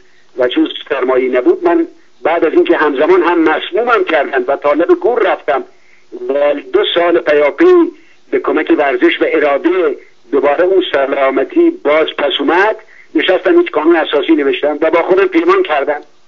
من که سعی کردم بیطرف باشم اما در این کار سعی جد بکنم که هیچ جهتگیری سیاسی آرمانی اندیشهی در این کار راهیابی نکنه. چرا؟ چون قانون وقتی سیاسی شد دیگه میشه کتاب به درد نمی‌خوره. خیلی بخواد نمره علمی بهش بدن. آلمانه باشه می‌شود یک کتاب علمی تدریسی برای دانشگاه به عنوان جامعه شناسی سیاسی. اما قانون وقتی کلمه سیاست درش وارد شد به ویژه ایدئولوژی که سم بشری هست دیگه قانون نیست. من سعی کردم در کمال بیطرفی بینظری بیغرضی در سود عام جامعه از بالا تا پایین از اعلا تا ادنا به گفته عرب ها شامل این قانون اساسی بشه. بنابراین قانون اساسی رو چند سالی نشستم بدون توقف نوشتم. سه چهار سالی هم گرفتار تایپ و چاپش بودم و اون قانون مورد قانون اساسی مورد نظر شد که ملازم میفرمایید در 161 برگ. اما خود قانون اساسی در 101 برگ هست. اون بقیه ملحقات و اضافاتی هست که برای قانون اساسی آمده. یعنی یازده صفحه اول که در پرانتز هست. یک حالت شعارگونه هست که در ذهن مردم جای بگیره هدف از این کار. اون قسمتی که در گیومه هست به گمانم پنجاب و سه چهار صفحه است. اگر اجازه بدید من قانون اساسی رو نگاه بکنم. کمی مهلت به من بدید که ببینم تا چند صفحه مربوط به این قسمت میشه. از روی فهرستش میشه بخونیم. من براتون بله سی و پنج صفحه آقای سرمی بله. مربوط میشه به پیدایش قانون که چطور قانون در دنیا درست شد و نخستین قانوندان جهان حتی که بود احترام ازش یاد کردم. این همین عراقی که من ارز کردم پادشاه عراق پیشین یعنی بابل عراق کنونی بابل پیشین. پادشاه اونجا حدود چهار هزار سال پیش یعنی تقریبا بیش از چهار هزار سال پیش. ببخشید. تقریبا دو هزار سال پیش از داریوش و کوروش. یک قانونی برای بشریت نوشت. البته خودش به تنهایی که نبود. لابد پادشاه وقتی در کاره مشاورانش همراهش هستن ولی به نام پادشاه تمام میشه. این سیستم تک سروری سیستم زشتیه. چرا؟ چون همه کارهای خوب به نام رهبر و لیدر و فرد اول نوشته میشه و کارهای زشت به نام اطرافیان و درست مثل مسابقه فوتبال. کسی که گل می‌زنه اون قهرمانه. و حالا که اگر کسانی بهش پاس نداده باشند و نزدیک گل این توپو نیاورده باشند چون بابا نمی‌تونه گل بزنه. بنابر به گمان من اون بک تیم خیلی مهمتر از خود کسی که گل می‌زنه یعنی گلزنه. این است که متاسفانه سیستم های تک سروری همینه. کارهایی که انجام میشه به نام پادشاه یا رهبر تمام میشه. به به نام هورابی این قانون در 292 ماده نوشته شده. و هم الان هم دانشگاه های بزرگ دنیا تدریس میشه. اما این سنگ نوشته رو آخرین پادشاه ایلامی شوتروک از سلسله نهونته وقتی حمله کرد به اونجا و اونجا رو تسخیر کرد این سنگ نوشته رو به خودش آورد. آورد در پایتخت ایران به نام سوز یا شوش یا شوشتر امروزی. و این سنگ رو می‌خواست نصف بکنه. یک قسمتی خراش برداشت این سنگ ولی مستقابلان پادشاه مانع شدن. و به حال بعد از چند هزار سال یعنی نزدیک به 3800 سال این سنگ نوشته وسیله دانشمندان فرانسه پیدا شد و کشف شد ترجمه کردن به فرانسه و بعد به انگلیسی و دیگر زبانها که در 292 ماده تفسیر بشه. این 35 صفحه اول مربوط به پیدایش قانون است و نیاز بشر به قانون و پیدایش دین است و چرایی دین و پیدایش حکومت هست و چرا حکومت درست شده؟ و تلفیق اینها با هم چه هست. و علت اینکه باید از هم جدا باشند چه است؟ خوشبختی مردم تامین بشه. این مربوط به این قسمت که ارتباط زیادی به خود قانون اساسی نداره. اما قانون اساسی از صفحه یک اونجا که وسط صفحه تقریبا یک ترازو هست و پشت و زیرش نوشته قانون بندها بندها که پرانتز اصول چون بند واژه فارسی است و اصول واژه عربی من سعی کردم در نوشته هم فارسی سره به کار ببرم و مرادفش واژه زبانزد معمولی امروزه رو. چون اصول بیشتر تو ذهن هست اصل بیشتر تو ذهن هست. تا بند بنابراین اصول آوردم. اونجا که بندها یعنی اصول مواد و های این قانون اساسی نوشته میشه از اونجا قانون اساسی شروع میشه تا 101 صفحه و از ماده یک یعنی اصل یک شروع میشه تا 500 ماده و تبصره که این قانون اساسی پایان می‌گیره. هشت صفحه آخرم که به زبان لاتین اون قسمت حروف به لاتین نوشته شده اون قسمت شرح زندگانی من هست. از کجا آمدم؟ که هستم؟ و مردم و مؤسسان آینده ایران بدونن که پدید آورنده قانون اساسی کشورشون چه کسی بوده؟ به غرب شرق بالا پایین ادنا اعلا باعث بوده یا نبوده؟ یا یک آدم آزاده میهنی با روحیه ایلیاتی بدون آوردن دیناری از ایران با توجه به که اون زمین های نفتی مربوط به آب و اجداد خاندان و فامیل من هست و یک کاسه نفتم به عنوان ملی که ملی بود ما با خودمون نداشتیم و دود و گازوئیلش ما خوردیم و دربار کیفشو کرد در روم و لندن و پاریس. ساختن خانه های آنچنانی و خریدن خانه های آنچنانی در غرب و ما نشستیم. حتی از گازش هم استفاده نکردیم تا وقتی که انقلاب شد. شهر گاز ایران که گرساران هست اون گازهای لوله کشی روی خیابون یعنی لوله کشی بدون ایمنی. تونستن لوله کشی گاز بکنن. حتی تا اون زمان هم مردم اون منطقه از داشتن گاز محروم بود بودن. اگر هم هیزون می به بهانه جنگلبانی دو ماه یک روز به هر هیزون شکنی زندانی می‌دادند تا زندانی قابل خرید نباشه. چرا؟ چون بر اساس قانون مدنی پیش میان اینجا هم رسمه در دنیای غرب. اگر کسی بالاتر از دو ماه زندانی داشته باشه نمی‌تونه زندانیشو بخره و ناچار زندانی زندان بودنشو تحمل بکنه. این است که ما اون مشکلات و دشواری ها رو هم داشتیم. اون بیوگرافی مربوط به من است. یک صفحه آخرم مربوط به نام من هست به لاتین چرا به لاتین؟ چون این قانون اساسی ثبت کتابخانه کنگره امریکا هست تلفظ نصر با دوتا S برای لاتین زبان دشواره. نش تلفظ می‌کنند. بنابراین چون روز اول مترجم در ایران با دو تا S نوشته بود و من وقتی وارد فرانسه شدم کارت شناسایی من و مدرسه های من و مدارک من و کتاب های من به فرانسه نوشته می شد و اون اسم رفت توی کارنامه من دیگه تغییر دشوار بود. به این مناسبت یک توضیح کوچکی هم صفحه آخر برای دوتا اس آوردم که اگر چه تلفظ یک اس نصر تلفظ میشه و دو تا اس ناخانه هست من این دو تا رو هم به عنوان توضیح آوردم. اما می‌پردازیم به قسمت نخست قانون اساسی. اگر آماده باشید آقای سربی من شروع کنم. کاری که سرکار خانم هم تذکر دادن با مهرشون. اجازه بدین من یه سوال دیگه از شما بپرسم که این رو قبلا پاسخ دادید ولی من می‌دونم که این بیننده ویدیوهای شما رو قبلا ندیدن. ایشون می‌پرسن که از آقای احمدی بپرسید. هدف از اینکه قانون نوشتید چیست چه تفاوتهایی بین قانون ایشان با قانون اساسی مشروطه است؟ اگر امکان داره اصل به اصل مقایسه بفرمایید و راه نجات را از چنگال آخوند به ما بگویید تا ملت آگاه شوند. همینجا من یه سوال دارم. شما اون موقعی که با آقای رضا پهلوی بودید آیا اون موقع هم می‌دونم که بعدا این قانون اساسی اینا رو گفتید چون جدا شده بودید هشت سال رفتید این کتاب رو نوشتید اینا. ولی آیا اون موقع هم در رابطه با قانون مشروطه و قانون اساسی اون زمان صحبتی شد؟ اگر شد نظر آقای رضا پهلوی چی بود در اون مورد؟ بسیار خوشحالم. مطلب فرمودید. خب من دفتر قانون اساسی رو بحث کنم. قانون اساسی پارلمانی رو چون توضیحش موکول شد به جلسه آینده که از جلسه آینده شروع بکنیم. بله. اولین سازمانی که تشکیل شد برای بازگشت پادشاهی به ایران و نصر احمدی مخاطب شما جوان 24 ساله اون روز مرامنامش رو نوشت و آقای دکتر منوچه کلاری فقط می‌دونستند اساسنامه چه هست مرامنامه چه هست منشور چه هست و هدف از اون کار چه هست و دیگران نمی‌دونستند یعنی اصلا کار تشکیلاتی وزرای ما سناتورهای ما نمایندگان پارلمان ما استادای دانشگاه ما حتی در علوم اجتماعی یعنی جامعه شناسی و حقوق و علوم سیاسی حتی نمی‌دونستن کار تشکیلاتی چه است. جز دکتر منوچهر کلالی خود من نویسنده اون مرامنامه بودم. اون مرامنامه اصل شیشش جناب آقای سربی توضیح داده میشه. اصلاحات در پاره از قانون اساسی مواد قانون اساسی مشروطه. اون موقع من پارلمانی که نخونده بودم. من تازه سال اول فوق لیسانس علوم سیاسی دانشگاه نانتر بودم. یعنی یک دانشجوی معمولی. دانشجوی فوق لیسانس علوم سیاسی که قانون اساسی نمی‌دونه چیه. یک وکیل دعاوی که نمی‌دونه یعنی نمی‌تونه قانون مثل اینکه شما قلم بدید یه وکیل دعاوی بگید قانون اساسی بنویس. خب اون که بلد نیست بیچاره. کارش این نیست. یا یه قاضی مثلا. قاضی کارش این نیست.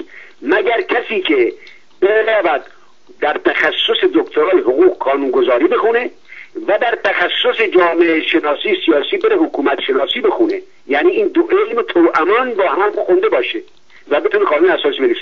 و تا به حال اگرچه قانون اساسی یک تنه نشده در دنیا خب برای همیهنان من و برای حتی خارجی های خورده سقیه دشواره. اما نمی‌دونه. خب یه نفر دو رشته تخصص گرفته. چون این دو رشته رو دونسته و خونده آمده قانون اساسی نوشته به لحاظ نیاز جامعه. بله مطالب مزره و فاسد قانون اساسی مشروطه که یکی دو تا سه تا ده تا بیست تا سی تا پنجاه تا هم نیست. بله من اون موقع به شاهزاده رضا پهلوی هم می‌گفتم. خود ایشون بپرسید از دشمنان بپرسید. خود ایشون به شدت مخالف حزب رستاخیز بود. به شدت می‌گفت پدر من اشتباه کرد. این حزب رستاخیز برای جان ملت شد. تا زمانی که نصر احمدی بود کارش درست بود. اما زمانی که نصر احمدی از ایشان جدا شد و نصر احمدی گفت دیگه رضا پهلوی از من نیست برعکس هم میهنانم. برعکس همه سنوات گذشته که پادشاهان ولایت عدها اطرافیانشون از خودشون میروندند اما نصر احمدی سر تلویزیون کانال یک که حتما آقای شهرام همایون آقایان مخالف من دوستان من دشمنان من و خود شاهزاده این نوارد داره من اعلام کردم از این ساعت آقای شاهزاده رضا پهلوی از من نیست. حتی اعلام کردم بر گفته سعدی بزرگوار چوب در چنان که خواهی پیچ نشود راست. رضا پهلوی جز به آتش نصر احمدی. البته من آتش خشم ندارم. منظورم آتش اندیشه ای یعنی از من نیست ایشون. برود به کار خودش. برود به جناح سبز. برود مچبند ببندد. برود بلندگوی آقای موسوی. آقای سربی سگ در یه مملکتی پاش بشکنه نخست مسئوله. آقای موسوی هشت سال چهار ماه نخست یه مملکتی بودن. به قول مجاهدین 17600 به قول جبهه ملی 7500 و به قول بیطرفان خبرنگاران خارجی 5400 جوان ایرانی در هر یک در زندان ها ایران اعدام شد. امضا آقای موسوی زیر اون برکه است. یک کسی که با موسوی شریکه یعنی شریک قتل یعنی قاتله یعنی بعد مردم محاکمش کنن. به همین مناسبت من با شاهزاده پهلوی کاری ندارم. مطلقا و مطلقا. بله ایشون زمانی که اولین مرامنامه سازمان بازگشت پادشاهی به ایران نوشته شد و بعد از دکتر کرلالی که رفتن ایران که یک داستان غمانگیزی و حتما یک روز سر تلویزیون توضیح خواهم داد که چرا رفتند همه اون اعضا نصر احمدی جوانترین و به عنوان کل انتخاب کردن و بعدها آقایان نیک زدند که چرا شما نوشته اید اصلاحات در پاره از قانون مشروطه. من توضیح می‌دادم که قانون فاسدیه. بید بخونید. براشون توضیح می‌دادم. مزرات قانون اساسی مشروطه که به مراتب از قانون مزرات قانون اساسی جمهوری اسلامی بیشتر و بدتر و زیان آورتره و زیر تره آیون متاسفانه رفتن حزب مشروطه درست کردن. دو آوریل 1992 آقای دارش همایون آقای دکتر خسرو اکمل آقای دکتر یمنی ستابت حسن منیعی و بسیاری ها رفتن حزب مشروطه درست کردن. ولی بعد 13 14 سال بعد آقای داروش همایون آمد در تلویزیون پارس گفت از این ساعت ما پیرو اندیشه دکتر نصر احمدی هستیم به نظام پارلمانی باور داریم. خیلی خوب. دوباره نشون اومدن گفتن. بعد که ایشون فوت کردن و این جریان سبز آمد موج سبز سهمگینی آمد. همه گرفت. دوباره آقای رضا پهلوی که خودشون اعلام کرده بودن از این ساعت پارلمانی هستم رفتن به اون جلد اصلی خودشون. و به قول سعدی بزرگوار بدوزد شرح شرح یعنی آز و طمع. بدوزد شرح دیده هوشمند برارد طمع مرغ و ماهی به بند. ایشون رفتن به دنبال اون چیزهایی که نباید یعنی پول. منم تو قانون اساسی توضیح دادم. در سیاست مالندوزی راهی به فساد. بر متاسفانه ایشون رفتن. اما اون مفاسد قانون مشروطه رو من هفته پیش تصمیم گرفتم. برای که دوازده سال پیش چیزی راجع مشروطه نوشتم در هفت صفحه. وسیله منشی دادم به یک کتاب فروشی معروفی در کالیفرنیا. و منشی هم کنار دست مدیر چاپخانه که نشسته بود با من صحبت کرد مدیر چاپخانه و گفت هفت روز دیگه این کتاب چاپ میشه. بعد از هفت روز که من زنگ زدم آیا چاپ هست؟ کسی از اعضای جبهه بیاد کتاب رو ببره؟ واقعا دکتر کتابی به من تحویل داده نشده. گفتم خود شما کم بی حافظه. با من صحبت کردید. موشی من این کتاب به شما داد. من می‌خوام مصرات مشروطه رو با آگاهی همیهنانم برسونم. بر اون کتاب گم شد ولی من دو روز پیش مصمم شدم که یک مطلبی راجع به پیدایش مشروطه بسیار کوتاه و مختصر که چطور مشروطه پدید آمد و مصرات فاسده قانون اساسی مشروطه رو به آگاهی هم میهنانم در یک کتاب سی چل صفحه‌ای به سرعت بنویسم و آماده چاپ بکنم. برای چاپ در معرض قضاوت هم گرامی خودم. و اگر وقتی یک قانون اساسی درست باشه اگر کسی یا گروهی یا دستگاهی بخوان قانون اساسی دیگری بنویسن که به مملکتشون لطمه می‌زنن اون قانون اینقدر زشته و اینقدر نادرسته که من ترجیح میدم کتاب دراکولا رو بخونم دیگه قانون اساسی مشروطه رو نبینم. آقای سربی بسیار ممنونم. ما وقتمون تموم شد و ولی خوشحالم که این دوستان شرکت می‌کنن در برنامه تا با پرسش هاشون هم شما پاسخ بدید. حتی اگر تکرار مکررات میشه ولی اینها رو ما بدونیم و پرسش های منطقی خوبی هست. خب ما که قانون داریم چرا باید قانون رو عوض کنیم و شما هم پاسخ دادید و بازم پاسخ خواهید داد. آیا امروز با آقای جناب با توجه به که وقت معامله نه نه هیچ ایرادی نداره. مطلب دو بار سه بار چهار بار بازگو میشه. چرا؟ چون یک عده همزمان بیننده و شنونده تلویزیون شما نیستند و این مطلب در بادی امر و برای یک بار در ذهن همگان جای نمی‌گیره. یه خود دقت بیشتر می‌خواد. شما معلم سر کلاس دیدید یه مطلب رو 50 بار تکرار می‌کنه. از همه بینندگان و شنوندگان گرامی تلویزیون و مردم سپاسگزارم امیدوارم یک راهی برای هدف سرنوشت خوب و آینده ساز ایران در پیش داشته باشیم. تا نظام سالم نباشه حکومت و مردم راه سالم و درستی نخواهند داشت و همیشه مردم جهگیر هستند در برابر حکومت ها از بود قانون اساسی زشتشون. از سرکار خانم لیلا هم که با شما تماس گرفتن که من نمی‌شناسم من خانم دیگری رو تقریبا با تشابه اسمی که یک بار با من گفتگو کرده تلفنی با صدای تلفن می‌شناسم که من نامشون رو براشون گفتم که مربوط به چند هزار سال پیش از هخامنشیان هست یک نام بسیار زیبنده و بسیار تفاخر برانگیزیه ولی ایشون خب جهگیری کردن چرا؟ نمی‌دونم. شاید اون لحظه عصبانی بودن. شاید از گفتار من راجب امیدوارم راجب مشروطه نبوده باشه. برای اینکه اگر کسی طالب سربلندی کشورش باشه حاضر نیست حکومت بد دوباره بر جای حکومت بدتری بنشینه. یعنی بدتر از بدتر دیگه. ما دو حکومت زشت داشتیم در گذشته از مشروطه یکی یکی هم جمهوری اسلامی که بودیم یه راهکار درسته که به نام قانون اساسی پارلمانی هست جایگزین حکومت آینده بشه که حتی به سود خود رهبران مذهبی همین قانون اساسی هست. آقا وقت تمام شده. اگر یک مجاهد قانون اساسی رو بخونه اما نهایی نصر احمدی فکر می‌کنه مجاهد این قانون اساسی رو نوشته. اگر یک چریک صدایی این قانون اساسی رو بخونه یا یک ملی اما نصر احمدی رو نبینه. اون تیتر یعنی نام نصر احمدی رو نبینه و نشناسه فکر می‌کنه حتما چریک صدایی یا جبهه ملی این قانون اساسی رو نوشته. چون همگانی است و به سود همگان. آرزوی شادی برای شما و برای شنوندگان و بینندگان گرامی تلویزیون مردم همه همیهنان هم دارم. بسیار ممنونم از شما. بهترین ها رو براتون آرزو می‌کنم. مرسی. سپاسگزارم. شاد باشید. با امید دیدار. خب دوستان عزیز این هم برنامه امروز سوربی با مردم. خوشحالم که دوستانی هم که قادر نبودن برنامه ما رو ببینن فعلا از طریق تلفن یا از طریق به اصطلاح یوتیوب و اینها می‌بینن. اگر کسی هست که وارد هست به این سیستم های universal یا player های adaptive که میشه با یک encoder ما پخش کنیم ولی همه ببینن من اون رو مایل هستم که به اصطلاح درست کنم و انجام بدم. ولی اگر بخوام چند تا encoder و اینها حقیقتا نه دیگه وقتش رو دارم.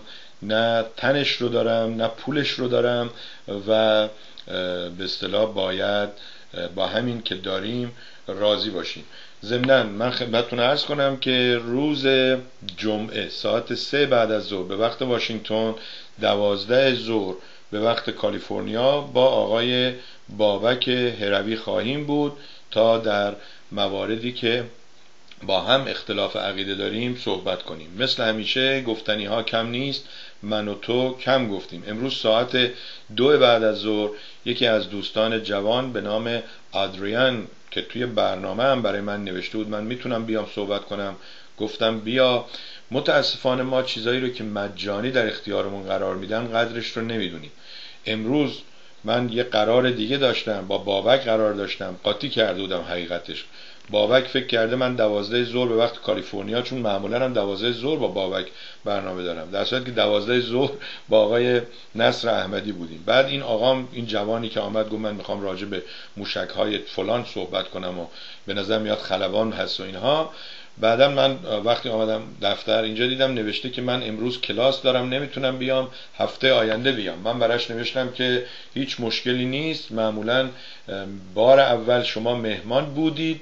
و از دست دادید برای دفعات آینده شما باید پول اون چیز مثل این میمونه که دیگه شما بگی من میام خونه خونه شما من برای شما یه خوراکی کلو کبابی یه نون پنیری حاضر می‌کنم. شما اگه نمیاین دفعه دیگه که می‌خوای بیای میگم آقای آدریان عزیز دو تا ساندویچ یا دو تا چلو کباب از این شمشیری یا موبیدیک بگیر و بیا. ما باید یاد بگیریم. حرف مفت کم بزنیم. بسیار خورسند و خوشحال که شما با ما بودید با ما باشید که جایی بهتر از اینجا نیست. چون اینجا شما هرچی مخالفتر باشید ما بیشتر دوستتون داریم. چون دیدیم برنامه رو که همه به به چه چه یکی یکی تلویزیون ها رو نگاه کنید روز اول باز کنن 600 هزار دلار بدیم به شازده 600 هزار دلار بدیم به شازده. فردا می‌بینن چی داره میگه؟ یه آقا و یه خانم میان هیچ هیچ هیچ. همه به به چه چه. به به چه چه. ولی وقتی که برخورد افکار باشه یعنی چی؟ آقای احمدی بگه یه چیز دیگه اون بانوی که توی دانشگاه درس میده می‌خونه سواد داره بگه من و شما ازش استفاده می‌کنیم. به امید اینکه بتونیم یکدیگر رو تحمل کنیم و صحبت کنیم. روز روزگار بر شما عزیزان خوش. ساعت شش و نیم دوشنبه ها و چهارشنبه ها آقای پرویز مینوی برنامه دارن.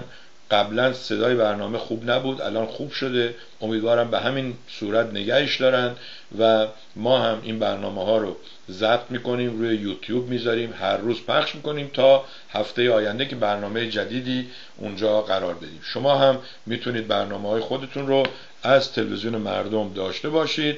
با یک هزینه بسیار کم. بارها گفتم ماشین رو داریم راننده رو داریم. خب بی انصاف اقلا پول بنزینش رو بده دوستانی هم که برنامه ندارن لطف کنن تلویزیون مردم رو حمایت کنن. ما حقیقتش خجالت می‌کشیم. هی بگیم که کمک کمک. فکر می‌کنیم که در خانه اگر کس هست یک حرف بس است.